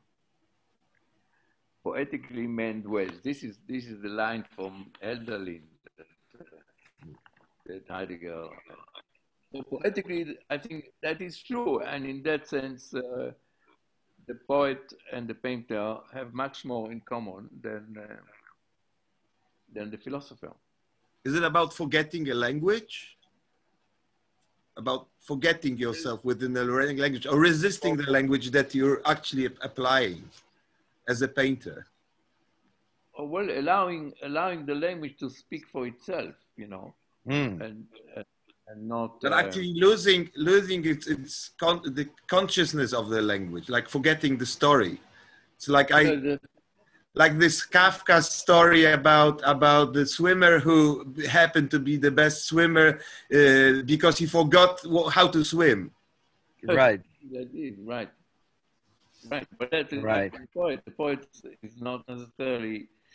Uh, Mm. There's a nice play by Čapek, you know, about it, it's a kind of accident, and everybody's interview uh, was the car, and nobody remember. And then they interviewed this poet, and he said, "Well, I I don't remember anything, the number of the car, nothing, but." Listen, I did write something. Perhaps in that you will find it and he gives them a poem. And in the poem, there's an orchestra. And the way the orchestra is described gives them all the numbers that make a. It's a play by Karl Čapek. But uh, Do- Dominique, that reminds me, and I think Yehuda and I have discussed this of the theory of play of, of Schiller and of Roger Caillois, very different uh, thinkers. But the idea that once you enter into the play realm, the realm of the ludus or the play, you, you're not aware that you're playing. You're just doing it. Yeah, Well, like in Homo Ludens Homo ludens of Huizinga, yeah. So in a way, I would say that the super the super category of painting and art and poetry is play in that regard. I would suggest tentatively. Which is not philosophy, you know. Philosophy is uh, more difficult and more restricted. more formal. I think in the case of Heidegger, he suddenly overlooked these uh, uh, uh, strictures. But Heidegger wrote about Nietzsche, and uh, Nietzsche was uh, people, analytic philosophers who I disagree with, attack Nietzsche, saying he's not a philosopher; he's a literary figure. Do you think that there's that link too between the No, I- Nietzschean? I think Nietzsche was much more of a philosopher than Heidegger. Right, I agree, but That's also a poet. Not immediately, but in the perspective of another 50 years, that will become clear. Heidegger is an I just have to add something. Sorry, Huda. Um, and it's beautiful to have um, Dominik, Yehuda, and Daniel, and everybody else in this discussion. um, I, I, find this, um, you know, you guys are so fascinated by history, historical documents. Like, you know, who said what, who said what to whom. Right, right. La, la, la. And, uh, and I think for me, to get out of this meeting, because I have to actually move on, is, is um, you know, question to Dominik, is that, you know, how do we question reality or, or even future today with, with so much uh, pressure on, on, being based on documents. Uh, I mean, we know that uh, so many people, many right wing, are actually not interested in documents at all. And, but there are, there, are, there are many of them. And then, you know, if you think about painting or think about, you know, architecture or design, you know, I'm just curious how to get out of this discussion, thinking that, you know, this, all of this documentation or the vision of documentation can, can just move on. There's well, you know, your, question. Your, your question is excellent. And there are many attempts, none completely successful to answer it. Obama, the other day, published a text in which he described it as the epistemological problem. And it's funny because yes. earlier, I invited to participate in a kind of colloque on, on the climate issue. And I still have it on my desk here, you know. And I wrote a paper, you know, I actually wrote a paper, huh? Hmm. And what was the title? The title was epistemological ambiguity, I call it. Just two weeks before Obama.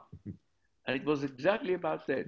It was how is it that people are so happy and ready to ignore anything that knowledge can provide them with and behave exactly against their best interest? Yes. How is it possible? Yes. You know, it turned out that 85% of people don't take the, the medicine that was prescribed to them. Hmm, right. they don't take it. 85%. So, oh, 75 only? Maybe. I'm making it up? No, I heard it. so I think, what is the answer? I think I have one answer. It's not a very good one. But you know, if you think of Meno, do you remember Meno? you know, as a mathematician, it would appeal to you, this dialogue called Meno. What's Meno. going on there? Meno. Meno is a, is a provincial governor who comes to Athens for his uh, home kind of uh, break. And there he goes to Socrates and asks him for advice. How would he exercise his, his authority in a better way, more just? And so Socrates' question and answer point out to him that in order to to be more just, he have to have the, a better understanding of what ju- being just consists in. And so he asked him, Socrates asked Meno whether his boy had any tuition. And Meno says, No, no, no, my boy had no tuition, no teaching, nothing at all. And then Socrates draw in the sand a square and asked the boy to enlarge the square double the square. And the boy, of course, start with a obvious kind of construction. Hmm. Question, answer, question, answer. And finally, you know the answer, yes? There's the square. And finally, he does a diagonal on which he be the square. and this is a beautiful allegory for the power of rational judgment. Because mm. The idea is that every human being, no matter, is born with the capacity for rational judgment. Right. And if this is true, then we have hope, limited, but we have hope because the idea is that even people who are completely drenched with their silly kind of belief or whatever, there is a reason behind it. There is the capacity to exercise that rational judgment if you only get there. and the question, of course, is how to get there. How to make them face with their own ability to judge and let them let, let, let them find out the discrepancy between what they know potentially and what they think they know, which is false. So, Sirjan, Foucault said about 40 years ago the challenge of our time is to convert the document into the monument. In other words, get away from the document, seeing it as a monument. And I would also suggest if you are trying to move on, there's a danger of falling into anti intellectualism, saying, ah, we don't need to know the past, we don't need to know documents. You can listen to this idea of rationality and of conversion towards the visual or towards the monument and still be interested in what other people have said in the past. You don't have to. Daniel, I didn't mean that. I mean, I know, I'm, I'm, I'm just being provocative. You, yeah, yeah, that's okay. Because you you're said you're throwing a bomb. I just didn't mean that. Of course, you know, the monument is. No, I didn't mean to take it the wrong way. It's all right. The problem, the, the problem, the problem clearly is uh, that it is not easy to find a situation in which people uh, will change their mind. I mean, we had the yes. Second World War, we had a terrible thing, and yet we have a neo-Nazi in uh, in the White House. Germany and in the White House, in, in Italy, uh, everywhere, and in France. So that is clearly the case that the people are not particularly impressed hmm. uh, by what is the case because they're not interested in what is the case. they are more interested in their fantasies mm. and they are more uh, ready to live up to their yeah. fantasy than anything that uh, will disprove it. I mean, can you imagine? I don't know. Yehuda, just to add to that, uh, I think uh, the Western European angst is back. You know, the, the, yeah. the reality which is not bearable by the very same people who are in that reality. I mean, just take the question. I was invited to apply for a director at Bauhaus in Dessau.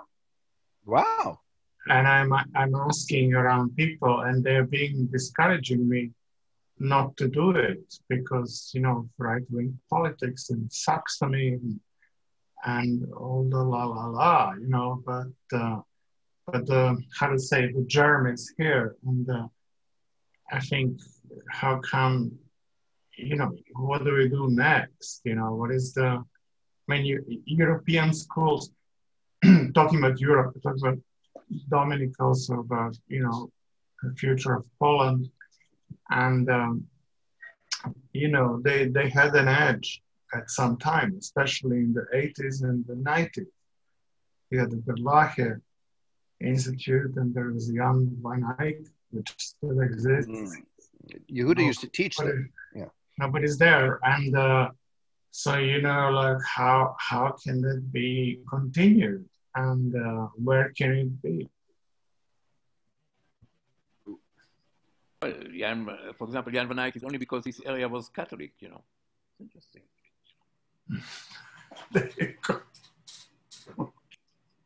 you, you know, Yehuda, for a secular Jew, sometimes I think you sound like a Catholic.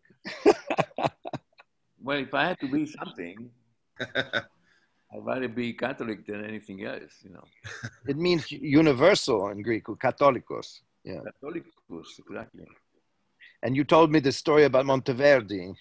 Was it Monte? You know, it, it, was it that the story about the word Catholic and the music of? Was it Monteverdi? I can't remember. Palestrina. The Pope said, "What is that music?" Remember, you said that story. I can tell the story. It's a very interesting story, typical of the Catholic Church. You know that uh, that uh, in the process of the Counter Reformation, they have the Council of Trent, where all the cardinals met to decide what was Catholic, what is not, and they decided that uh, they will do it uh, empirically.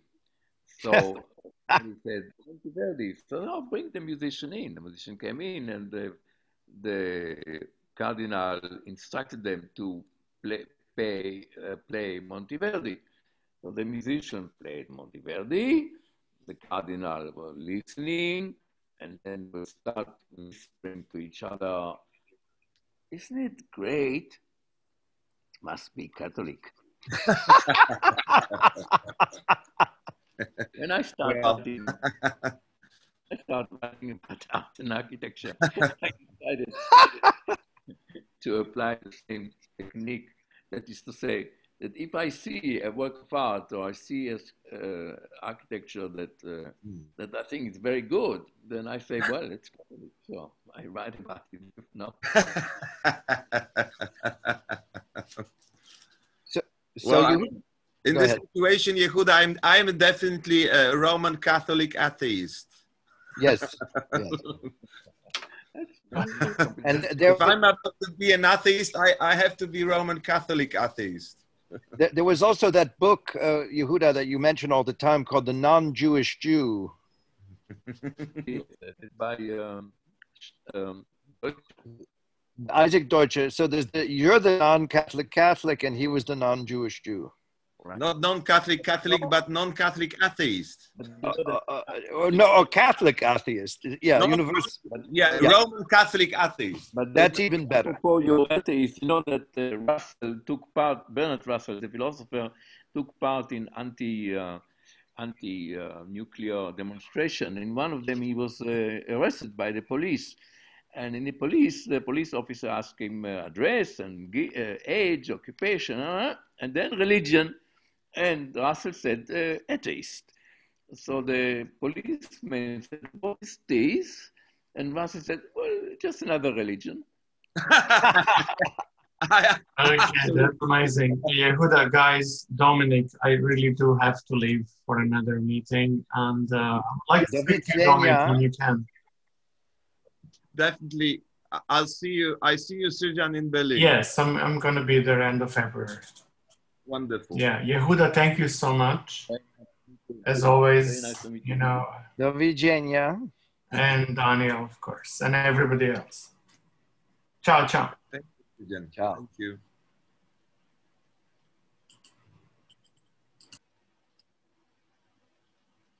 Oh, Drew is here. Okay.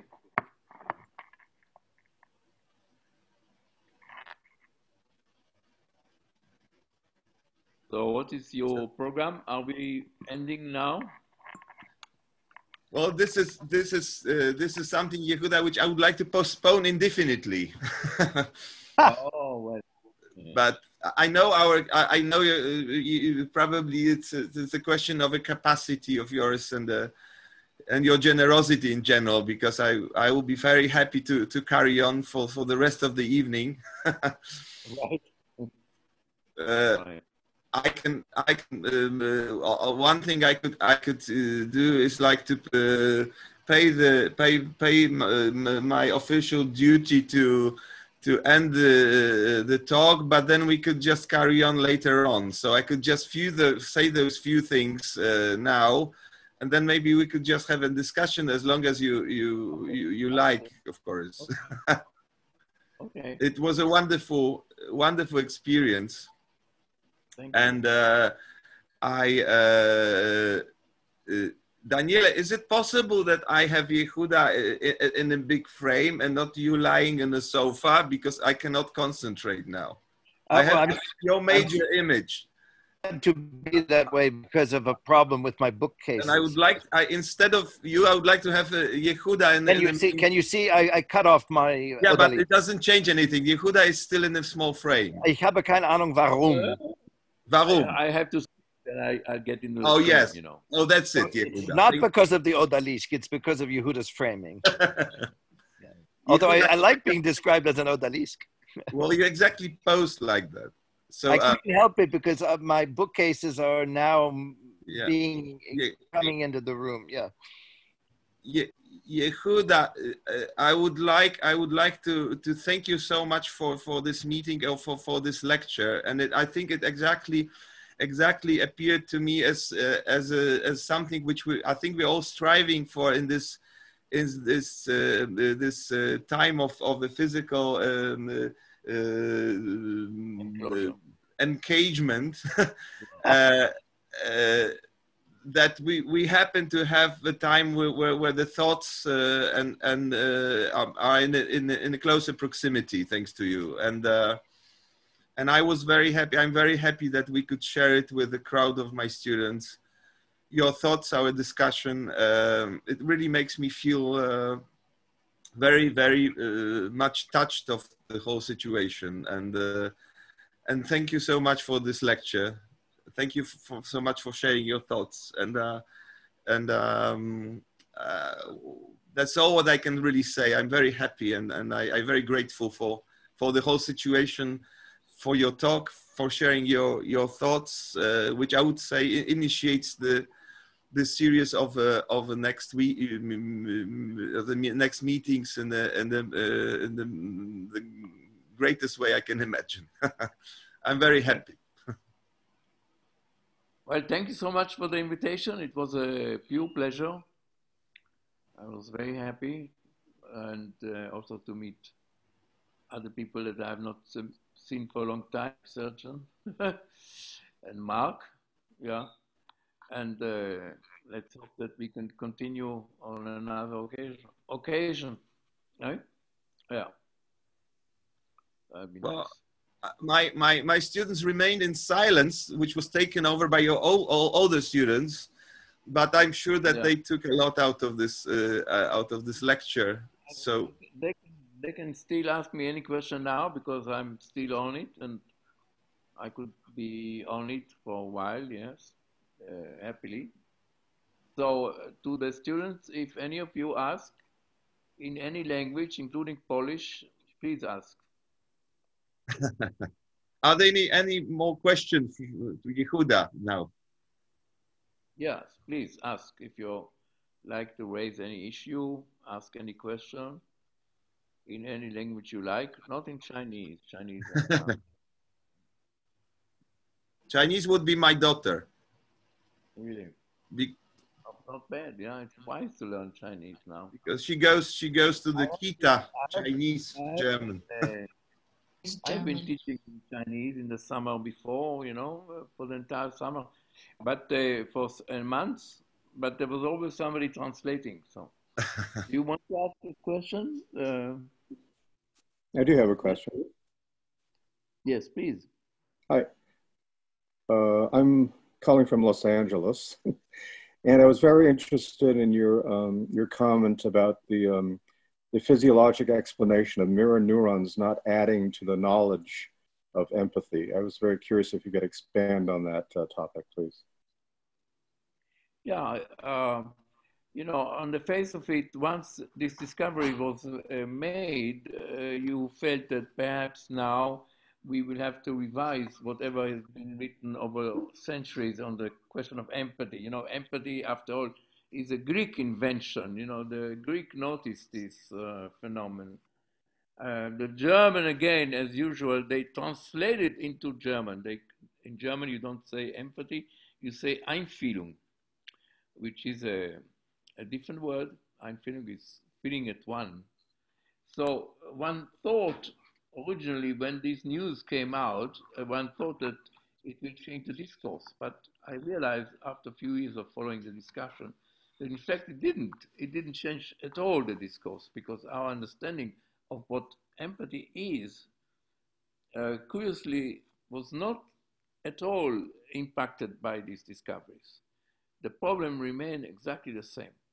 Mm-hmm. The only difference was that by now we had some better understanding of the physiology that goes with it. But knowing the physiology did not really uh, solve as it, as it were the, the enigma of what it is and what makes it what it is, etc., etc. Mm-hmm. That was very interesting lesson. That's all I can say to you. Yeah. I was just wondering from the physiologic perspective if it had any kind of therapeutic implications. And I'm sure there are, but I don't know much about it. I do know that some people thought that they could uh, work out autism on the basis of uh, this uh, physiology, but their hopes to affect our understanding of autism was not completely rewarded in the sense that that uh, nothing much um, could follow these uh, hypotheses. So there were several such ideas, but as far as I know, nothing really came out of it. Mm, thanks. There's an interesting comment made about uh, AI, artificial intelligence, in taking over the field of medicine and providing a lot of the uh, kind of algorithmic thinking behind the medicine, medicine's approach to uh, problems, and that the role of the physician in the future with AI would be providing empathy. That would be their sole role. uh, that's a nice idea. Except that, you know, like all of these ideas, uh, they are good ideas and they might have application up to a point, but one could not think of them as a kind of absolute, you know? Of course. Meaning that, yeah, you could do a lot with uh, artificial intelligence. You could do a lot with uh, providing doctors with such uh, intelligent assistants, but I think you need them for more than empathy. I hope so. Thank you. Thank you. No, ultimately will never be replaced by anything. All right. Thank you. Jankuria. I think one of the things that uh, create such an impression in the world was the, the colossal uh, event when the, when the computer won the chess game. Kasparov. Remember this? Uh, Kasparov. Yeah, that was that that was a really uh, game changer insofar as uh, until then uh, one felt that uh, we are kind of secured from the mm. being overrun by uh, machine. Mm. Right. And once this happened, that was really uh, hard to uh, overcome. But I, I, I belong to those people who, uh, even with this great success of AI, it just mm. shows the limit of the game. It just shows that the chess is uh, no more than uh, the AI can do. Well, that's good news. it just means that chess is no longer the threshold. It's no longer the uh, the ideal, right? It just show it just put chess in its place as a very very, mm. interesting game, but a game, you know. mm. Mm. No more than a game.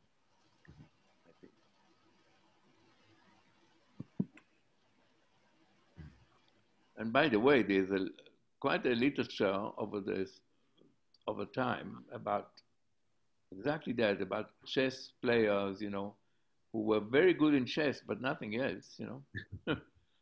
there was a story like this by Stefan Zweig, for example. Mm. In my high class, you know, I went to a rather special kind of school, like MIT Junior High School, and among us, there was a fellow, one of our students fellow, who would play simultaneously against all of us. We were about 25 students. And we would sit, each one of us with our own chessboard and everything. And he would turn his back to us and looking at the blackboard. And everyone in his turn would say what move he did, and he would say what did, and he would win against all of us. But you know, that was the only thing he was so good at everything else, mathematics, uh, he was like any one of us, nothing special, except the game. There you are. Please, any question, any comments?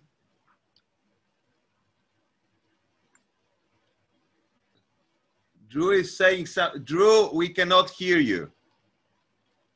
You have to switch oh, you on your. Now, can you? Drew? Can you hear me? Can you hear me?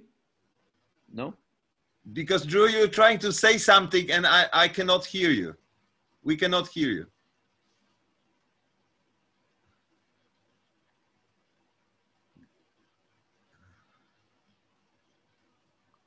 Nobody's asking anything? No, Drew is trying to say something, I see. Or not? Oh, okay, please. Please. No, but we cannot. It doesn't work. Who is trying to speak? Is the the woman I see called Arch? Alki, Alki? No, she's not. She, I don't know. Agnieszka, what, chcesz o coś zapytać? But I, I see that there is another uh, Drew Hammond. Chcesz to- Dominiku, Dominiku, niech Drew poprosi o, No, no, no. O, o wyłączenie tego wyciszenia. Drew, Yeah, because Drew has he has something with microphone. He has microphone off. Um, is he? Is he got? Uh, he he. Okay. Drew, your microphone is off. Your microphone is off. Can you hear us? Maybe you can type.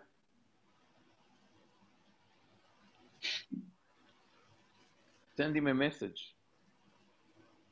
Uh, Pawle, on the left side of on the left side of the pic of, of this this um, there is there is a panel with microphone on the left side of uh, Zoom.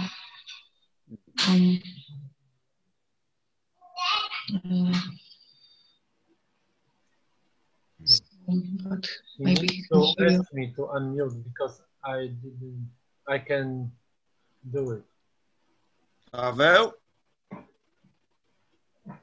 Yes? y, y, coś nie wiem, czy coś można z Drew jakoś Można, wysłać wiadomo. można, tylko on musi po... Już jest. Już jest ok. Wyłącz. Okej. Tak, już nie ma wyłączonego mikrofonu. Okej. Ok? Moment.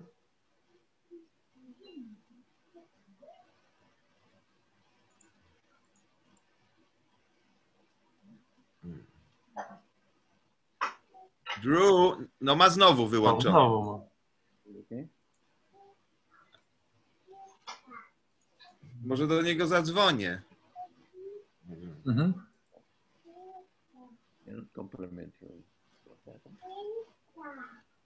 Ja tego nie mogę zrobić z mojej pozycji.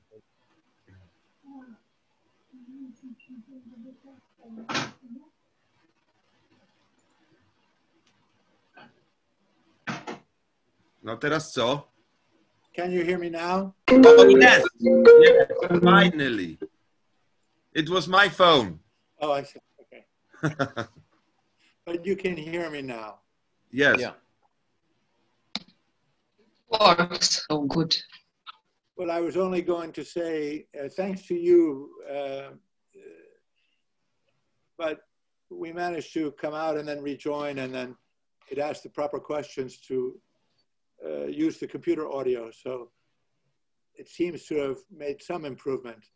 But I was going to ask that I was say that I was very glad that you brought up the matter of the burning bush because this episode, this story is very important to Aquinas because at this moment, uh, uh, Moses asks God, Who should I say that you are?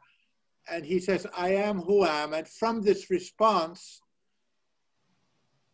Aquinas derives his distinction between essence and existence, which of course is an Aristotelian distinction. But here he uses it to say that this is God's way of saying, essence and existence are one in me. So this becomes Aquinas' definition of God to say the only creature or the only being in whom essence and existence are one. So the in whom the quo est existence, that which something is, and the quod est, that by which something is, the essence, it's one. And I was hoping that this might return us to Husserl, who makes this distinction between the noetic perception and the noematic perception. So if I recall, then the noetic, which he illustrates by reference to the story of seeing a tree, the noetic would be that which we most immediately perceive about the tree that it has a certain bilateral symmetry with green leaves and a brown trunk, these sorts of features. and the noematic have to do with aspects of the tree that might re- interest more someone like Freud or Lacan, namely all the associations we might have with that tree, because perhaps we might have a memory of our father bringing us to that tree when we were a child and what the world was like at that time in our memory and all the associations that it might have. So it, it occurred to me that perhaps there could be an analogy between this idea of essence and existence and these, this, this distinction of Husserl between a noetic and a noematic perception of things. And this, of course, uh, is, I think, perhaps related to Dominic's question about painting. That uh, painting, in some sense, on the one hand, does have this immediacy, which, uh, as Yehuda pointed out, is analogous to poetry. And yet it does also entail a degree of self conscious reflection. So I, I bring this up because it occurred to me that the, the way you structured the conversation seemed, it seemed to come full circle in a way from the um, uh, from Husserl uh, to the burning bush and then back to Husserl. At least through analogy. I hope I'm making sense.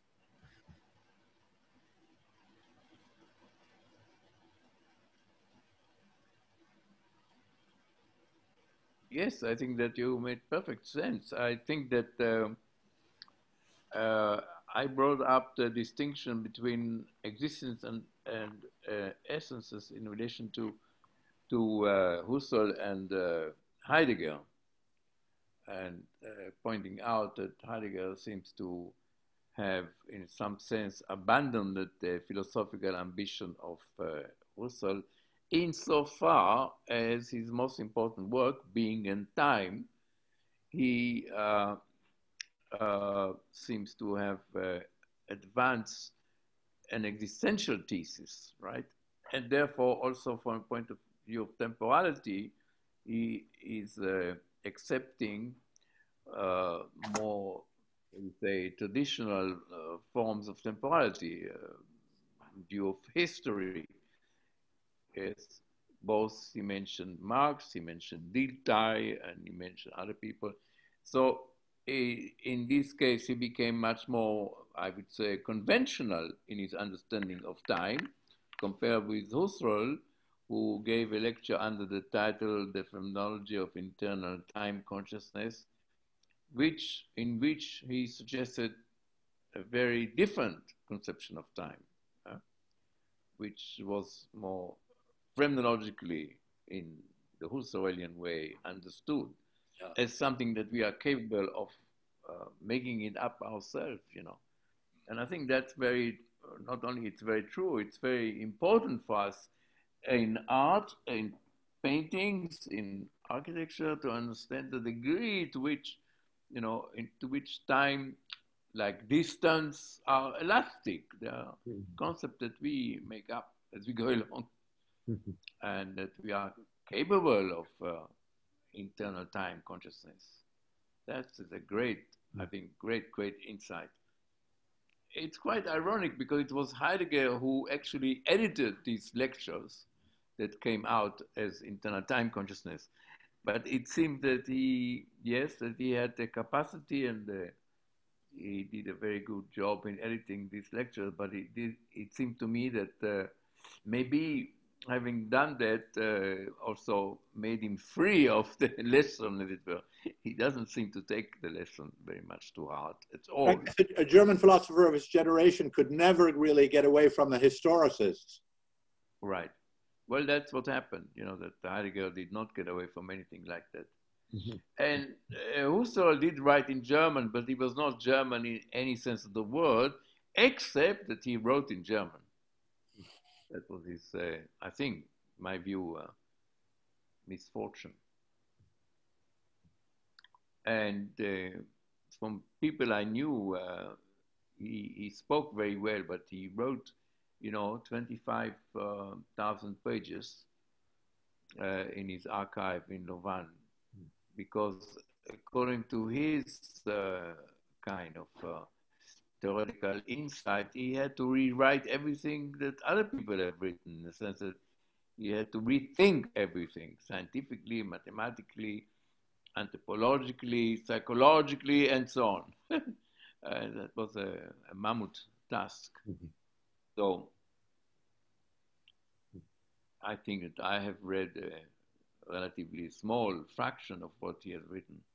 But not only he has written so much, but most of what he has written is terribly kind of, you know, a little bit of uh, his own kind of jargon. You know, it's not jargon in the sense of repeating what other people said, but his own. it's a very difficult language, unfortunately. But I think he had a great insight. And uh, even those who deviate, like uh, Heidegger, still learn a lot from him. That's, of course, part of the irony. And yes, I am. Uh, I'm glad that you brought this Sun Aquinas, and because you see the the theory of uh, empathy, that uh, the theory of intentionality, that uh, that really um, started Husserl on on his uh, on his uh, track, started with uh, the medieval understanding of intentionality. You know, mm.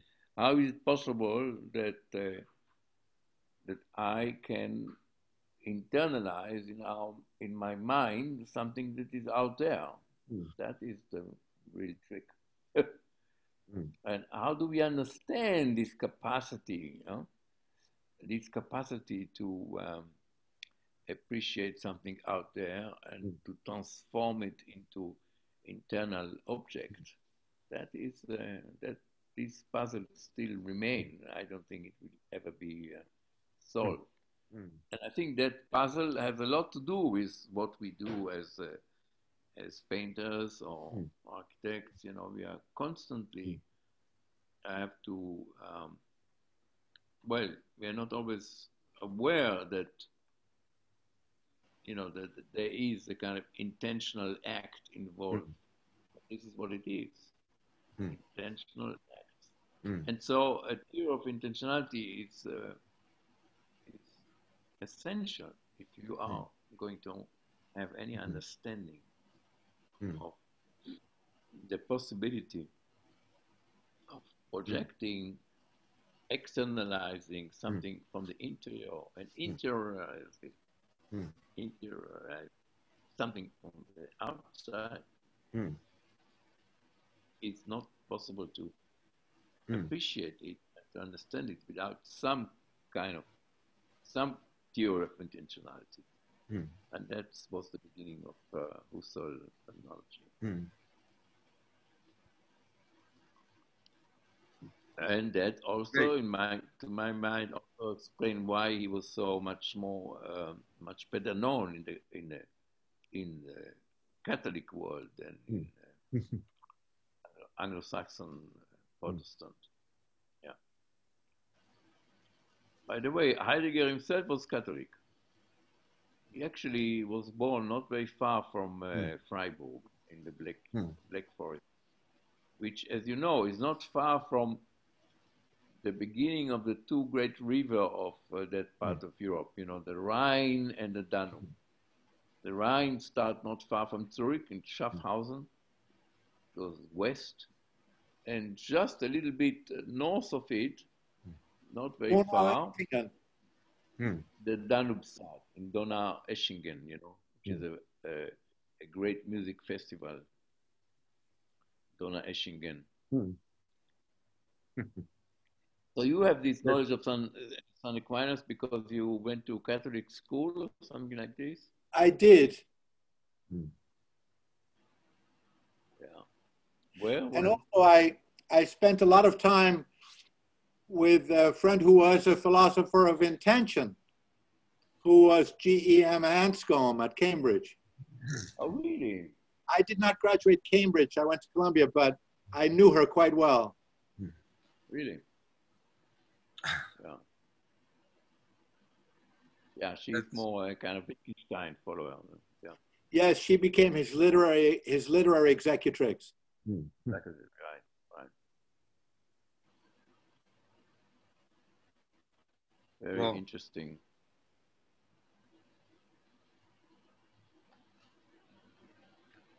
This is all. This is all. Also, I think the, it, it, what you just draw onto, drew in the reference to the the optical.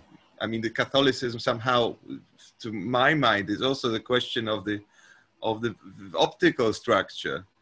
And I think what what's happening for for for me, for for example, now what I think is that speaking of the Catholicism in Poland, I, I don't think so. It's a Catholicism. Uh, it's it's a pagan version of Catholicism, which I think Maria Janion was writing this about very strongly, speaking of of the uh, of the certain type of self-colonizing uh, by the uh, not necessarily the Catholics. I wouldn't say that the P- Polish National Church at the moment is a Catholic church.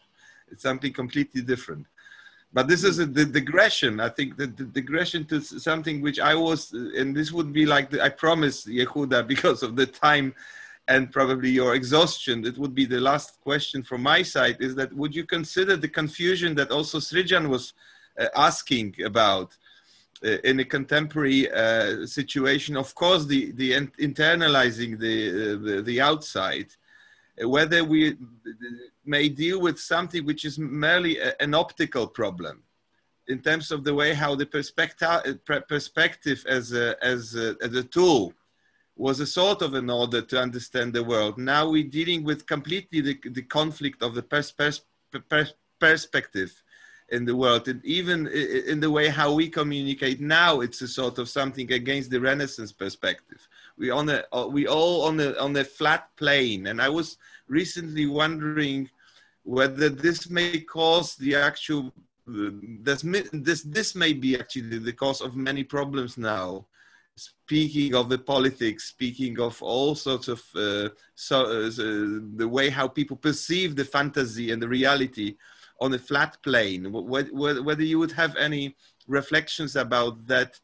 that the perspectival problem and the optical problem that we're dealing with now may actually cause all those side effects as you could as you could uh, think of in terms of the way of uh, internalizing what's outside around us Well, it's a, it's a, it's very interesting to consider it. I never thought about it too much, but uh, you know, a priori, it seemed to me that uh, after a few generations of people who have been affected so much by the by the flatness uh, of, as you say, the lack of perspective in in yeah in watching their life uh, unfolding on a- on a on a flat screen.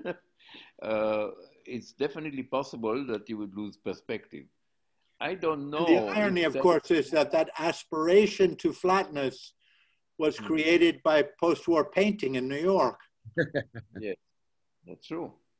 It was created by post. Uh, you see, I think that it has to do with much bigger problem of uh, temporality. You see, I think that temporality uh, in well-balanced society, temporality is something that individuals share with the collective, and there is no great, as it were, break, no antagonism between your own internal time consciousness and the collective time.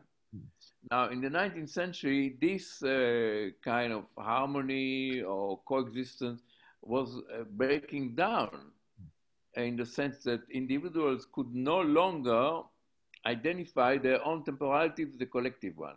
Mm. And I think that's how that is, you can see it in paintings in the late 19th century when the, when the, when the surface become more and more important it's precisely related to that, I think. And then you have Freud, you have Proust, La Recherche de Temps Perdu, you have Bergson, you have Husserl, you have Aby Warburg, you have Einstein. All these people invent their own time.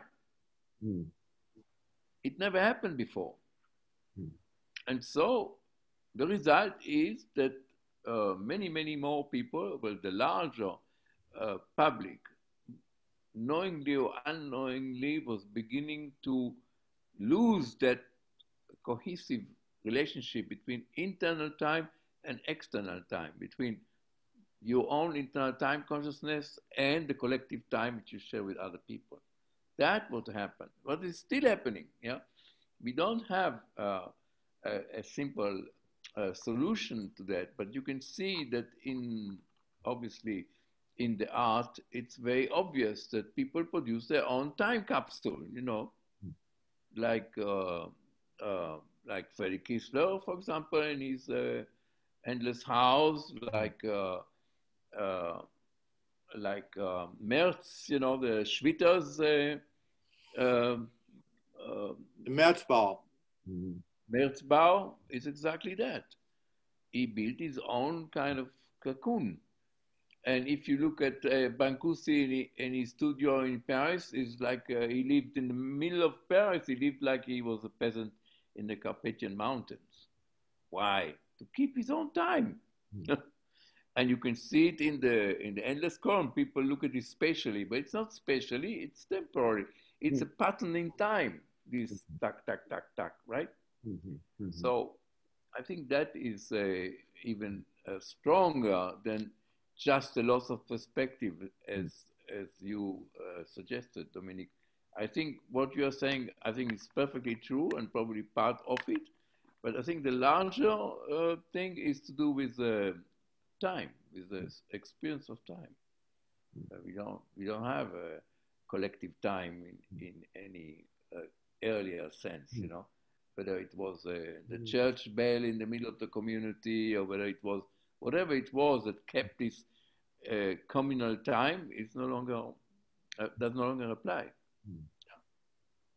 That's very interesting. Hmm.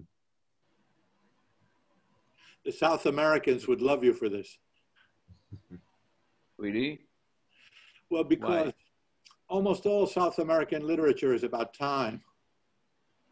Uh-huh. yeah.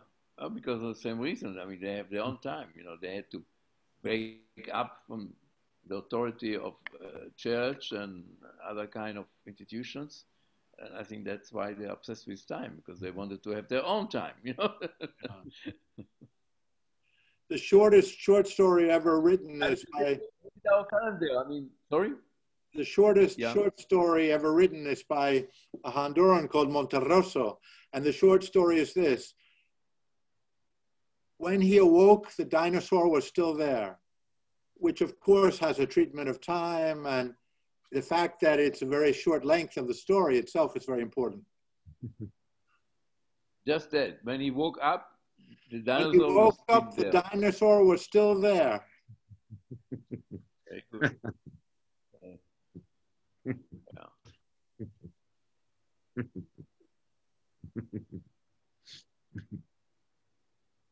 Interesting. And Borges uh, always is echoing Shakespeare because his um, education was English. So he uses the to be or not to be. He says, to be with you or not to be with you, that is the measure of my time. and Alejo Carpentier says, um, uh, to go down, to go back down the Orinoco River is to go back in time. Right. yeah.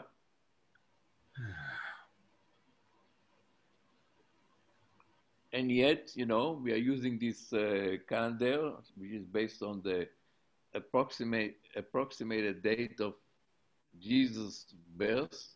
Yeah. Probably out of six by about 36, 37 years. Huh? Why? French Revolution wanted, you know, not only standard of meter, they also wanted to turn the calendar calendar into a metric system. Hmm. and so we would have 100 years uh, and uh, we have 100 uh, minutes in an hour and we have 10 hours and so on, but they never succeeded. Mm-hmm. It would be interesting. they only succeeded in the meter. you know. And still now, if you go to the museum in uh, Sèvres outside Paris, they have the standard of the meter, which is a bronze with Yeah. X section, uh, a bronze uh, meter. So maybe it's time to change, time to create uh, a new time. Post uh, COVID, huh? Post the pandemic.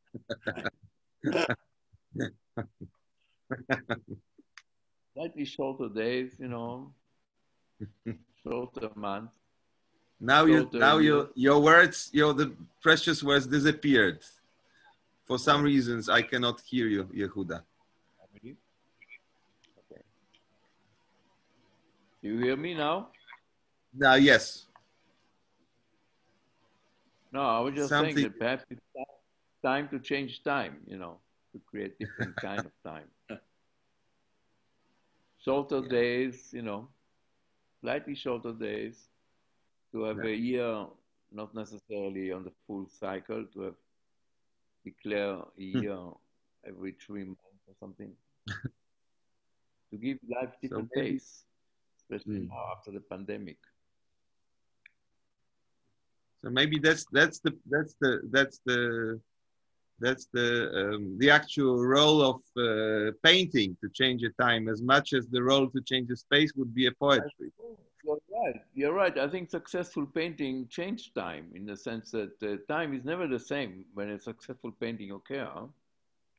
You see it from that perspective, and that means that you see things differently.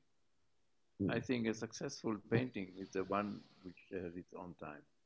Mm. I think, yes, it's very important to say that every painting, in my view, has its own field of time. Mm. You know, if it doesn't, it's a kind of secondary painting because it then it means that it depends on some other painting for its sense of time.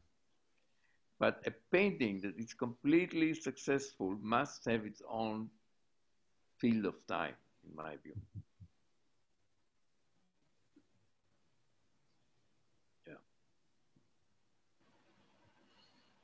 I mean, you know, I mean, take for example, if you look at Agnes Martin painting, you know, these kind of endless lines, one beside the other, right?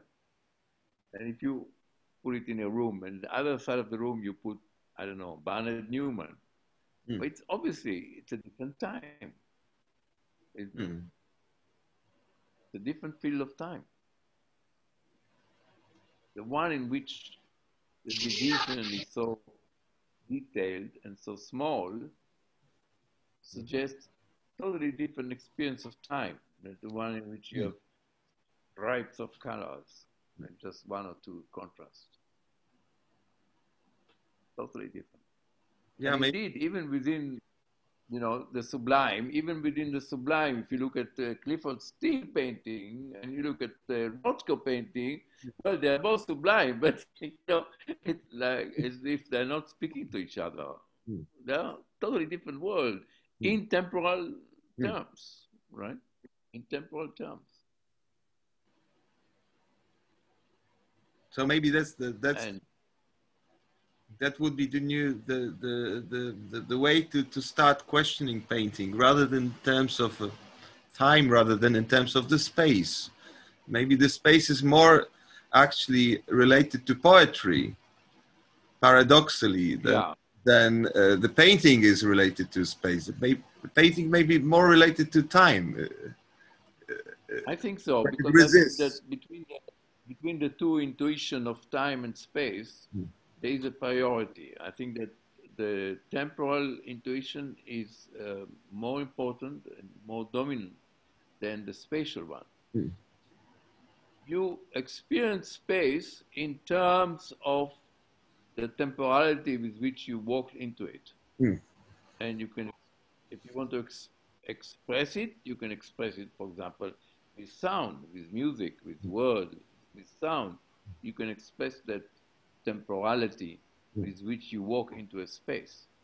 But what defines ultimately the space is not the space in itself, but the temporality with which you experience that space. Hmm. I think that is very, very important. Very important. I can no more agree. Absolutely. yeah, so maybe. I would like. Tak, Agnieszko? Uh, okay. Um, Yeah. uh, I would like to thank you very much for Professor Yehuda. Thank you very much for this beautiful evening for me. Also Dominik, dziękuję bardzo. Um, I have to leave you because I have small son and he is waiting for me. So um, it was a big experience for me and really, really um, very, very important evening. Thank you. Ciao you. to everybody. Hi. Bye bye. Yeah. So how do you say, Dominik? Uh, dziękuję bardzo. That's a perfect uh, way of expressing. Yehuda, bardzo dziękuję. Uh, Uh, I, I've heard it. Yes, słyszałam. Dziękuję bardzo. Dziękujemy bardzo wszyscy. Thank you. Dziękujemy jeszcze raz. It was a it was a wonderful time. And uh, Okay. now she created something. I I'm very happy that we can all spend and share this this precious time with you. I didn't know I had so many grown up grown up students in my studio and so well informed. Uh, so uh, I'm, I, I would like to thank you and everybody and, and especially Yehuda for this for this uh, very special for me evening.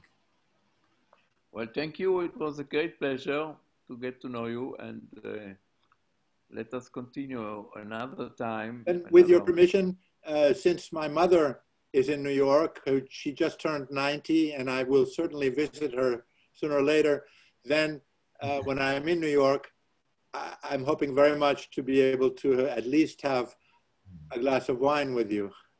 Sure, sure. I will be happy to meet you. And I will ask uh, Dominik for, for your contact. uh, Aquinas. I would very much like to join you too.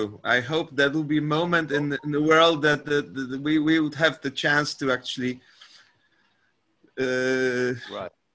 Hear the sound of the of the glasses uh, clicking each other. Right. Right. So, Dominik, you can give him my address and telephone number and so on.